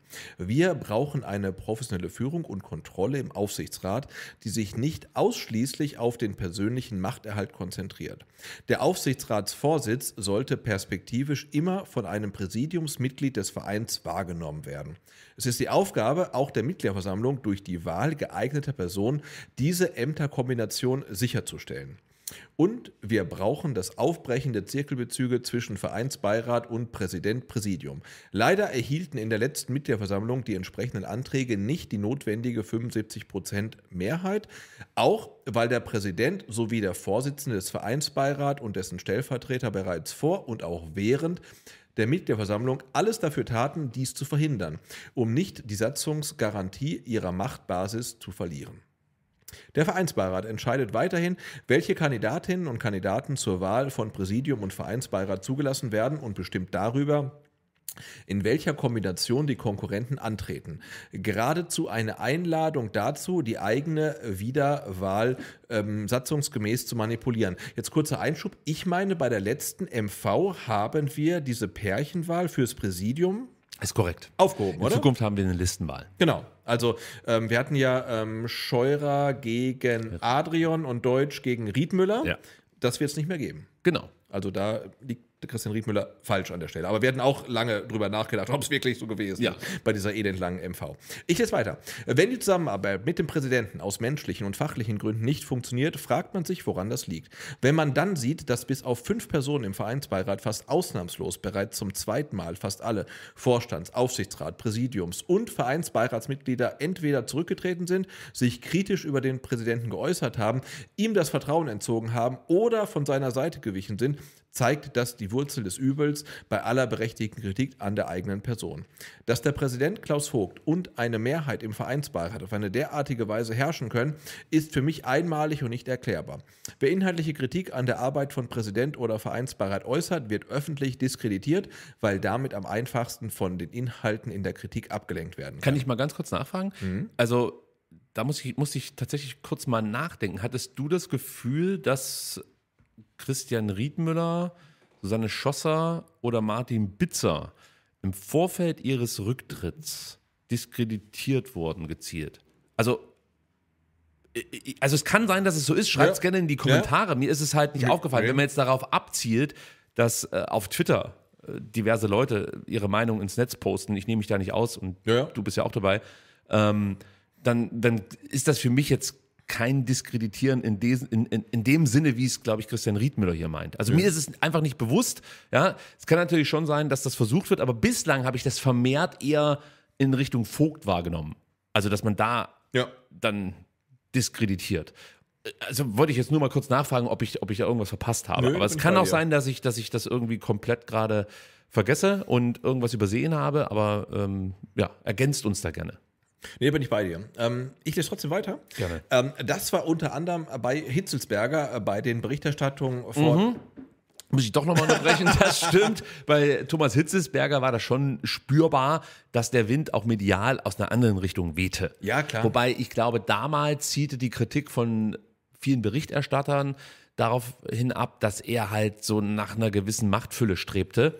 Also, Also, und tatsächlich kommt das bei der Diskussion immer zu kurz. Da heißt es immer, der Vogt hat den Hitz abgesägt und deswegen ist der Gang. Und die Leute vergessen anscheinend, dass äh, Thomas Hitzesberger Präsident und CEO in Personalunion werden wollte. Also, was würden die Leute jetzt mit Alex Werle machen, wenn der sagt, ich trete bei der Präsidentwahl an? Also, die würden ihn auch zerreißen. Ne? Ja. Also, er hat einfach tatsächlich, also, ich, ich, ich finde Thomas Hitzesberger super, ich schätze ihn sehr, aber er hat den VfB nicht verstanden. dass du das schon dazu sagen musst, weil es sonst halt gleich wieder Ja, heißt, du, ja. du wärst irgendwie ein, ein Vogtjünger oder sonst Ja. irgendwas. Nein, es geht mir wirklich darum, sollte es so sein, dass es irgendwelche Medienberichte gibt. Und damit meine ich jetzt nicht allein das Kicker-Interview, weil das ist für mich auch keine, also von Klaus Vogt, das war für mich jetzt auch keine, kein hinterhältiger Angriff, sondern da gibt es halt ein Interview von Klaus Vogt und ähm, er gibt seine Sicht der Dinge wieder und die kann man gut oder schlecht finden oder was auch immer neutral bewerten. und dass ein Präsident äh, des Clubs das nicht machen sollte, ohne das mit dem Club abzusprechen. Ist auch klar, Ist brauchen wir nicht drüber ja. reden, ist Ja. nicht äh, die feine englische Art. Das gilt aber auch für viele andere Sachen, die ich in Absolut, den ja. letzten Wochen so erleben, erleben musste. Das eine wiegt aber das andere nicht auf. Da sind wir uns, glaube ich, einig. Da hätten sich eine ganze Menge Leute einfach würdiger verhalten können. Punkt. Nur dennoch äh, finde ich halt, ähm, dass, also, dass man jemanden vorwirft, er würde gezielt Leute diskreditieren und das führt dann letztlich zum zur Amtsniederlegung, das würde ich noch mal gerne konkretisiert haben, weil Mhm. sollte das so sein, finde ich, sind das zum einen natürlich dann legitime und aber vor allem schwerwiegende Vorwürfe und darüber sollten wir als Mitglieder dann auch Bescheid wissen. Deswegen, Absolut, ja. wenn wir da was übersehen haben, machen wir das nicht, weil wir hier irgendwie versuchen, irgendjemanden zu schützen, Ja. sondern weil wir zu doof sind, uns manche Sachen zu merken. Ja, absolut, ja. So, hast du noch ein bisschen was auf der Ja, Pfanne? aber du, wir haben noch einiges hier. Oh, okay, Ähm, sorry, dachte, also, das war kürzer. ähm, das war unter anderem äh, bei Hitzelsberger bei den Berichterstattungen vor der Wiederwahl des Präsidenten oder nach den Rücktrittsschreibungen von Schusser und Bitzer so. Zu lange habe ich fälschlicherweise gedacht, dass ich das mit verändern könnte, habe mich aufgerieben, habe ähm, ich Fehlentscheidungen getroffen. Zum Beispiel muss auch ich mir den Vorwurf gefallen lassen, dass wir die Mitglieder nicht frühzeitig und ehrlich über die geplante Änderung beim Aufsichtsratsvorsitz informiert haben. Mit meinem Rücktritt ziehe Stopp. Ja, Da frage ich mich, wäre es nicht jetzt der richtige Zeitpunkt gewesen, zu begründen, warum man sich so entschieden hat? Das würde ich einfach immer gern verstehen können. ja, ich glaube, das wissen die nicht. Wäre nicht so gut. Wie auf. Egal. Ja, ich glaube, ich glaube, also auch na, na, nach dem Gespräch mit Rainer Adrian, ich glaube, die, die drei dachten, das, das passt halt schon so. Das ist okay. Gut. Ja. Also, das ist meine persönliche Einschätzung. Es wäre äh, überraschend, wenn es so wäre, aber gut. Gerne weiter. Mit meinem Rücktritt ziehe ich die notwendige Konsequenz. Und ich schaffe damit die Möglichkeit, dass bereits bei der kommenden Mitgliederversammlung meine Nachfolgerin bzw. mein Nachfolger fürs Präsidium gewählt werden kann. Finde ich super. Ich finde es aber dann auch wieder interessant, dass ähm, Christian Riedmüller und Rainer Adrian vor zwei Wochen Ja. gesagt haben, nee, wir stellen uns der Vertrauensfrage. Ne? das war mal der Plan. Das war der Plan. Und jetzt zwei Wochen später tritt man zurück. Also, Das war aber auch vor PDF-Leaks. ja, wahrscheinlich. Ne? Also, es ist alles, ähm, also die Lage ist ähm, Volatil. volatil. Ja. Also, ich wünsche der Mitgliederversammlung als oberstem Souverän unseres VfB, dass sie zum Wohl des Vereins die richtigen personellen und satzungsrelevanten Entscheidungen trifft. Ich möchte mich bei den vielen Menschen bedanken, die ich in meiner VfB-Zeit kennenlernen konnte. Stellvertretend gilt mein Dank insbesondere Rainer Adrian, mit dem mich eine kritisch-konstruktive Arbeit für den Verein verbindet. Ich weiß, welche zusätzliche Verantwortung mein Rücktritt für ihn bedeutet. Ich wünsche mir, dass Rainer Adrian jetzt die notwendige Unterstützung von euch bekommt, dass die Mitglieder ihm bei der nächsten Mitgliederversammlung das Vertrauen aussprechen. Finde ich auch spannend, weil das ist ja auch wieder komplett konträr zur äh, Forderung der Cannstatter Kurve, inklusive mittlerweile, glaube ich, 250 verschiedenen OFCs. Also ähm, und ich danke Bernadette Martini und Werner Gast dafür, dass sie sich trotz allem Gegenwind im Vereinsbeirat treu bleiben und für unseren VfB kämpfen. Ich hatte eine interessante und lehrreiche Zeit bei einem überragenden Verein. Ich gehe zu einem Zeitpunkt, an dem wir attraktiven und erfolgreichen Fußball spielen und kurz vor dem Einzug in die Champions League stehen. Im EV sind die Finanzen so gut wie selten zuvor mit einer sehr guten Prognose für die kommenden Jahre. Sportlich haben wir unter anderem ein Top-Leichtathletik-Team mit Medaillenchancen unter anderem bei den Paralympics in Paris. Die Faustballherren sind gerade deutscher Meister geworden. Ich habe viele fantastische Menschen kennengelernt und viel gelernt. Ich gehe in der Gewissheit viel Einsatz, der mich an den Rand meiner Kräfte gebracht hat, geleistet und manche Fehler gemacht zu haben, aus denen ich hoffentlich lernen werde. Ich danke den vielen Ehrenamtlichen im Verein, unter anderem den Abteilungsleitern, Vorstand und Aufsichtsrat, den VfB-Mitarbeitern sowie den vielen Fans und Mitgliedern, die mich bis zuletzt unterstützt haben. Und ich freue mich darauf, euch wiederzusehen, am besten sehr bald irgendwo in Europa. Herzliche Grüße, euer Christian Riedmüller. Sebastian, vielen Dank äh, ja. für deinen Einsatz. Da gibt es sogar Applaus. Ja, ich habe es gerne gelesen, weil ich finde, das ist ein Abschied schon mit Stil. Also es ist ein langer Text und wir haben ein paar Punkte rausgearbeitet, die dann zum Teil einfach tatsächlich nicht richtig sind. Ne? Also wie diese Pärchenwahl ähm, fürs Präsidium. Andere Sachen, über die man diskutieren kann. Aber ich finde, im Grunde ist das ein, ein, ein, ein würdiges Abschiedsstatement. Ja, also äh, bin ich absolut bei dir. Ich möchte auch noch dazu sagen, also ich habe ja Christian Riedmüller auch kennenlernen dürfen, ein paar Mal. Und also was du immer bei ihm gemerkt hast, er lebt VfB ja. total. Er ist sehr emotional, der, er will nach vorne sozusagen, er hat seine Ideen. Das hat mir eigentlich immer imponiert. Ich mag das. Also ich mag so einen Drive, den du mit reinbringst, keine Frage. Es gab dann auch mal Themen, da waren Christian und ich definitiv anderer Meinung, aber was er immer geschafft hat, ist mir seine Ideen so nahe zu bringen, dass ich zumindest mal nachvollziehen konnte, wo er hin wollte. Und ich hatte ja. auch das Gefühl, dass er durchaus äh, die Mitgliedschaft, die Fans und so, das hat er eigentlich alles verstanden. Also das war mit Sicherheit jetzt nicht eine Fehlbesetzung. Warum es am Ende nicht klappte, und das muss man ja auf das runterbrechen, dass er zusammen mit Klaus Vogt oder Klaus Vogt mit ihm irgendwie eine Basis finden konnte. Äh, da sind mir einfach zu viele Meinungen, so möchte ich es mal sagen, aktuell im Umlauf. Ja? Für mich ist es einfach so, es fällt mir enorm schwer, das habe ich letzte Woche schon gesagt, und daran hat sich eigentlich nicht viel verändert, dem aktuellen Präsidium, da schließe ich Christian Riedmüller mit ein, zu vertrauen und zu glauben. Und also das Ding ist das wurde, also, ja, ja, es sorry. geht jetzt nicht nur um die Namen, aber ich finde es halt auch so schade, ja. weil das wird mir auch schwer fallen bei den NachfolgerInnen dieser drei Kandidaten, die es ja zwangsläufig irgendwann mal geben wird. Bei Christian ist es halt jetzt der Fall, bei anderen wird es irgendwann mal der Fall sein. Bei dem einen früher, bei dem anderen später oder vielleicht auch bei beiden nächste Woche. Wer weiß es ja nicht so hundertprozentig. nee, aber das ist eigentlich das, was mich äh, so frustriert. Ja, wir haben nach Wolfgang Dietrich einfach wirklich eine Zeit gebraucht, um uns als EV wieder zu konsolidieren und auch wieder eine Basis herzustellen, ein Miteinander herzustellen. Natürlich gibt es da Steuerfeuer, die wird es aber immer geben. Wir haben das hier schon mal rausgearbeitet. Diese Ausgliederungsform, die wir gewählt haben, die hat einfach ein gewisses Konfliktpotenzial. Es wird immer Verlierer geben und Gewinner in der Diskussion und wer darüber nicht hinwegsehen kann und dann wirklich zum Wohle des Vereins handelt, der wird hier immer anstoßen. So ist es einfach. Und das ist eigentlich das, was ich jetzt so mitnehme. Denn im ersten Moment fand ich es schade, dass Christian Riedmüller gegangen ist, weil ich gemerkt habe, okay, es ist nicht möglich gewesen, dass dieses Präsidium wirklich konstruktiv und zielführend zusammenarbeitet. Dass es bei Streitpunkten die Möglichkeit von Verhandlungen gibt und dann halt einheitlich werden Ideen nach vorne gebracht. Und ich, ich kann dir nicht sagen, liegt das jetzt an Klaus Vogt, liegt es an Christian Riedmüller oder an Rainer Adrian? Das weiß ich nicht am Ende.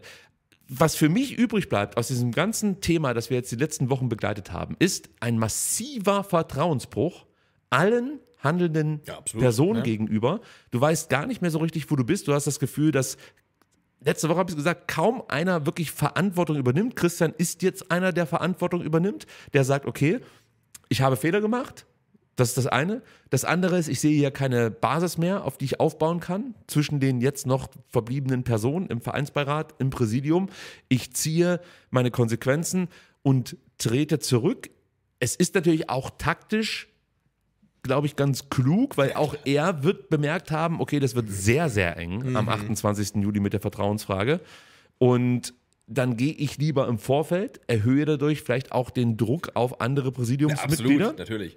Das darf man auch nicht außer das, Acht dass lassen. er in seinem Statement dann ähm, Rainer Adrian ähm, nochmal adressiert und ähm, den Mitgliedern mit auf den Weg gibt, ihn Ja. doch in seinem Amt zu bestätigen, ist ja auch jetzt kein Zufall. Ne? Also Nein, natürlich nicht. nichts ist Zufall. Also die Leute, die da Aber agieren, die sind sehr intelligent und das, was sie sagen, äh, da stecken normalerweise viele, viele Gedanken dahinter. Aber genau das ist doch das Problem. Das ist doch das Kernproblem, das wir aktuell haben hier beim VfB Stuttgart. Es fällt so schwer, den Leuten, den handelnden Personen zu vertrauen. Und auch wieder so eine Basis zu schaffen für die Zukunft, ja, den gewählten Vertretern unserer äh, Mitglieder sozusagen so einen Vertrauensvorschuss einzuräumen. Weil du hast das Gefühl, das haben wir diesmal gemacht und zwar allen dreien gegenüber. Das waren unglaublich hohe Werte, die erzielt Ja, wurden. klar. So, und ein Stück weit fühlt man sich halt verarscht. Ja, klar. So jetzt aktuell. Und das zu kitten, geht, glaube ich, und das habe ich auch schon mal gesagt, geht, glaube ich, nur durch volle Transparenz und Offenheit. So, und auch hier fehlt mir jetzt zum Beispiel wieder diese Thematik, um die sich ja seit Wochen dreht. Was ist mit den Absichtserklärungen? Welche Überlegungen stecken dahinter, Klaus Vogt unbedingt jetzt sofort absetzen zu müssen als Aufsichtsratsvorsitzender? Da sind so viele Punkte dabei, die Christian aufgeführt hat, die auch valide sind, ja, die man auch als Diskussionsgrundlage mitnehmen kann. Aber der, der Hauptauslöser der aktuellen Krise wird von keinem ja, richtig adressiert. nicht, ja. Da denke ich mir, warum macht ihr das nicht? Selbst beim Rücktritt würde ich es wichtig, also selbst also gerade dann würde ich es wichtig finden, dass es endlich mal da eine Auflösung gibt dieser Story und ein bisschen mehr Licht ins Dunkel, weil ich glaube, es wird nur so gehen, dass wir wieder Vertrauen fassen können. Also in die Personen, die wir jetzt aufgezählt haben, wird es das vielleicht nie wieder geben, aber es ist wichtig, den NachfolgerInnen gegenüber hier reinen Tisch zu machen. So, und ich fand, ich fand sein Statement auch gut, muss ich ganz ehrlich sagen, Ja. war gut vorgetragen. Das war alles, alles drin, was ihm, glaube ich, wichtig war. Aber es, es fehlte halt ein entscheidender Punkt, und zwar der, den die Mitglieder momentan so krass diskutieren wie selten irgendwas zuvor beim VfB Stuttgart. Und ja, da erwarte ich halt dann noch ein bisschen mehr. Ja. Ja. Grundsätzlich, du hast es vorhin schon mal angesprochen, muss man sagen, der eigentliche Plan, der wird jetzt gerissen. Man wollte eigentlich zusammen mit Rainer Adrian, also Christian Riedmüller, dann eben die Mitgliederversammlung ähm, nutzen, um die Vertrauensfrage zu stellen.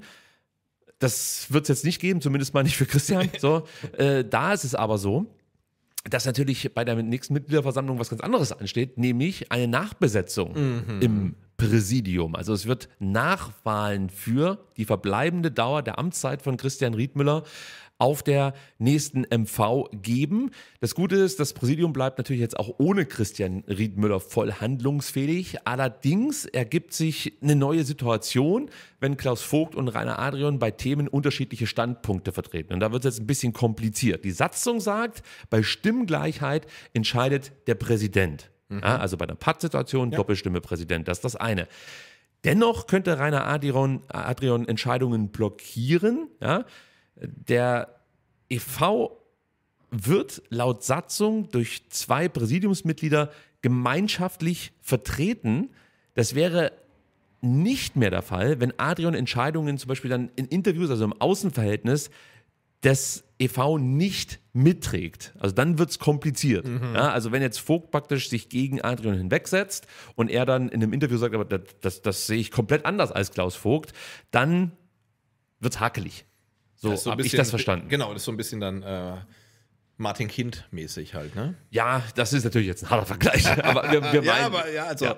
ja, es ist auf jeden Fall, glaube ich, aber möglich, dass Rainer Adrian und Klaus Vogt das Ding zumindest mal bis zum 28.07. Ja, noch wuppen. das- das also da bin ich, da bin ich eigentlich zuversichtlich, was das angeht. Für den Aufsichtsrat könnten, sofern im Vorfeld bestimmt, ähm, ja, ein Ersatzmitglied nachrücken. Ich weiß nicht, ob es die bei uns gibt, ehrlicherweise, aber das wäre eine Möglichkeit. Sollte es dieses nicht geben, findet natürlich eine Wahl durch die Hauptversammlung der AG statt. Und ähm, ja, in dieser Hauptversammlung hat der EV, also Vogt und Adrian, 75,1 Prozent der Stimmen.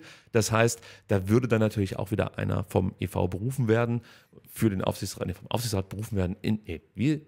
vom EV ähm, berufen werden in den Aufsichtsrat. So. Ähm, aber tatsächlich an Aufsichtsräten und Rätinnen haben wir auch hier. Genau, haben wir, haben wir ja auch keinen Mangel. Und es sollen ja sogar noch mehr jetzt. Ja, Sebastian lenkt schon aufs nächste Thema über. Das war auch ein interessanter Medienbericht, den man Anfang der Woche lesen konnte, denn angeblich ähm, war Armin Fee am Freitag, am vergangenen Freitag in Stuttgart und hat sich beim Aufsichtsrat mal vorgestellt. Ich weiß nicht genau, wie sowas abläuft. Also ich denke mal, da werden ja Leute im Wahrscheinlich gepitcht mit einer PowerPoint. Der, der wird, nee, ich meine, der wird ja eingeladen dann. Also kannst du nicht einfach mal vorbeikommen. Also, hi, ich habe was zu sagen. Hallo, ich bin der Armin. Also der Plan sieht wovor, das berichtet zumindest der Kicker, dass unser Aufsichtsrat nicht verkleinert wird, sondern sogar nochmal vergrößert, nämlich auf zwölf Aufsichtsräte.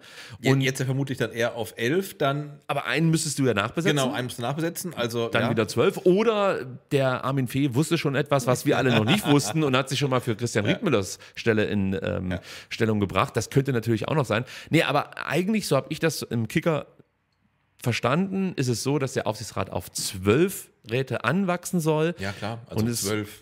Ich meine, wir haben schon elf. Ich glaube, das ist mehr als jeder andere doch nicht so zynisch. 12, 13, 18, 20 ist ja egal. Also immer alle rein. Also Komm. es geht hier explizit um die Sportkompetenz, die beim VfB im Aufsichtsrat fehlt. Rainer Adrian bringt die mit, ist aber der Einzige. Und jetzt soll noch Armin Fee kommen. Der hat 2007 die Meisterschaft mit dem VfB Stuttgart gewonnen. Ihr werdet euch erinnern können. Dafür bin ich ihm sehr dankbar. Absolut. Es war eine herausragende Leistung. Ich sag mal so, ich hatte mal einen richtig tollen Sommer. Da habe ich es geschafft, an mehreren Wochenenden ähm, die 100 Kilometer mit dem Rennrad zu absolvieren. Das war aber wirklich der einzige Sommer, wo ich mal richtig performt habe. So, Die restlichen Sommer war ich eher so äh, sporadisch mit dem Rad unterwegs. Und jetzt, warum erzähle ich das? Bei Armin Fee verlief die Karriere ähnlich. Es gab diesen einen Peak, er hat wirklich Unfassbares mit dem VfB Stuttgart erreicht und hatte danach, ich sag mal so, seine Schwierigkeiten wieder an alte Erfolge anzuknüpfen. Genau, und Armin Fee war ja auch nochmal beim VfB. Das war jetzt dann nicht ganz so glorreich wie 2007. Dann Dem einen oder anderen wird das gar nicht aufgefallen sein, es waren nur wenige Ja, Tage. Ich erinnere mich an die, an die grüne Jacke, die war richtig gut. Und ähm, dann war er nochmal in Köln. Mhm. Und ähm, mir hat heute ähm, jemand geschrieben, das war ein bisschen gehässig. Ähm, Armin Fees äh, Königstransfer äh, beim 1. FC Köln war Florian Wirz. zu Leverkusen. Ja, ich wusste ja, was du jetzt sagst. Also, ich- Das hätte ich dich auch hängen lassen können. Nee, aber also ich hätte es auch sonst gesagt. Also, ähm, ja, also ich, ich, ich sehe Ja. die, die sportliche Kompetenz nicht, die Armin Fee reinbringt. Er ist dann 2019, 2020 bei Köln ausgeschieden. Seitdem findet seine sportliche Kompetenz im Doppelpass statt. naja, er hat halt schon mehr als Beate Bechtade. jo, So. aber ja, die, mir muss jetzt erstmal einer erklären, warum es jetzt sinnvoll ist, nochmal einen zwölften Platz sozusagen im Aufsichtsrat aufzumachen. Was genau bringt das? Ja. genau. Also da, das muss mir erstmal jemand erklären. Und dann möchte ich jemanden haben, der da reinkommt, der irgendwas reinbringt, was niemand anders mit reinbringen kann. Und, Und es fehlt ja eine Menge. äh, ja, es fehlt eine Menge. Ja, also es, es fehlt gibt- viel, es, es fehlt sportliche Kompetenz, ab- aber die sehe ich jetzt. Sorry, aber durch Armin Fee nicht unbedingt gegeben. Das ist das eine ähm, Ding, also dass er in Köln jetzt nicht unbedingt. Aber wir können festhalten, dass die Sportkompetenz im Aufsichtsrat durch die Hinzunahme von Armin Fee sich nicht verringern würde. Ja, das ist richtig, ja. Aber du siehst jetzt auch nicht eine potenziell. Ich sehe jetzt kein, kein potenzielles Wachstum. Ja. Ähm, und mein anderes Problem ist da äh, ähm, auch tatsächlich, also der Aufsichtsrat per Namen, was soll er machen? Den Vorstand beaufsichtigen. Klar, die sagen dir, nein, erstmal beraten und so weiter. Aber natürlich ist der Aufsichtsrat dafür da, zu gucken, was macht denn der Vorstand ähm, des VfB Stuttgart. Und dann holst du dir aufs Aufs als Aufsichtsrat jemanden wie Armin Fee, der wer ist, äh, ein guter Buddy von Alex Werle, weil die zusammen in Köln Sportdirektoren waren. Ja. Und das finde ich halt auch schon wieder schwierig. Dass das hat ein- Geschmäckle. das hat ein Geschmäckle. Du holst dir eine, Aufsichts, ähm, eine, eine Aufsichtsperson rein und diejenige Person, die er beaufsichtigen soll, ist jemand, mit dem er lange Zeit zusammengearbeitet hat. Also finde ich tatsächlich schwierig. Aber natürlich haben alle Menschen die Möglichkeit, uns davon zu überzeugen, also uns Mitglieder und Fans, warum das der richtige Weg sein könnte. Und ein Weg könnte sein, hier einfach bei SDR vorbeizukommen, lieber Armin Fee, und einfach mal so ähm, ja, die Präsentation äh, zumindest anzureißen, die es am Freitag für die anderen Aufsichtsräte gab. Weil ich kann mir schon vorstellen, dass Armin Fee Argumente liefern kann, die für ihn sprechen.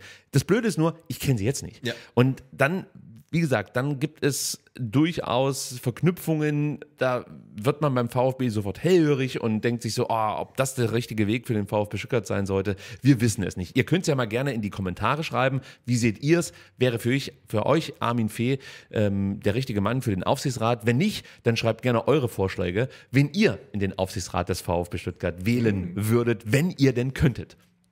Finde ich gut. Ja, macht es mal.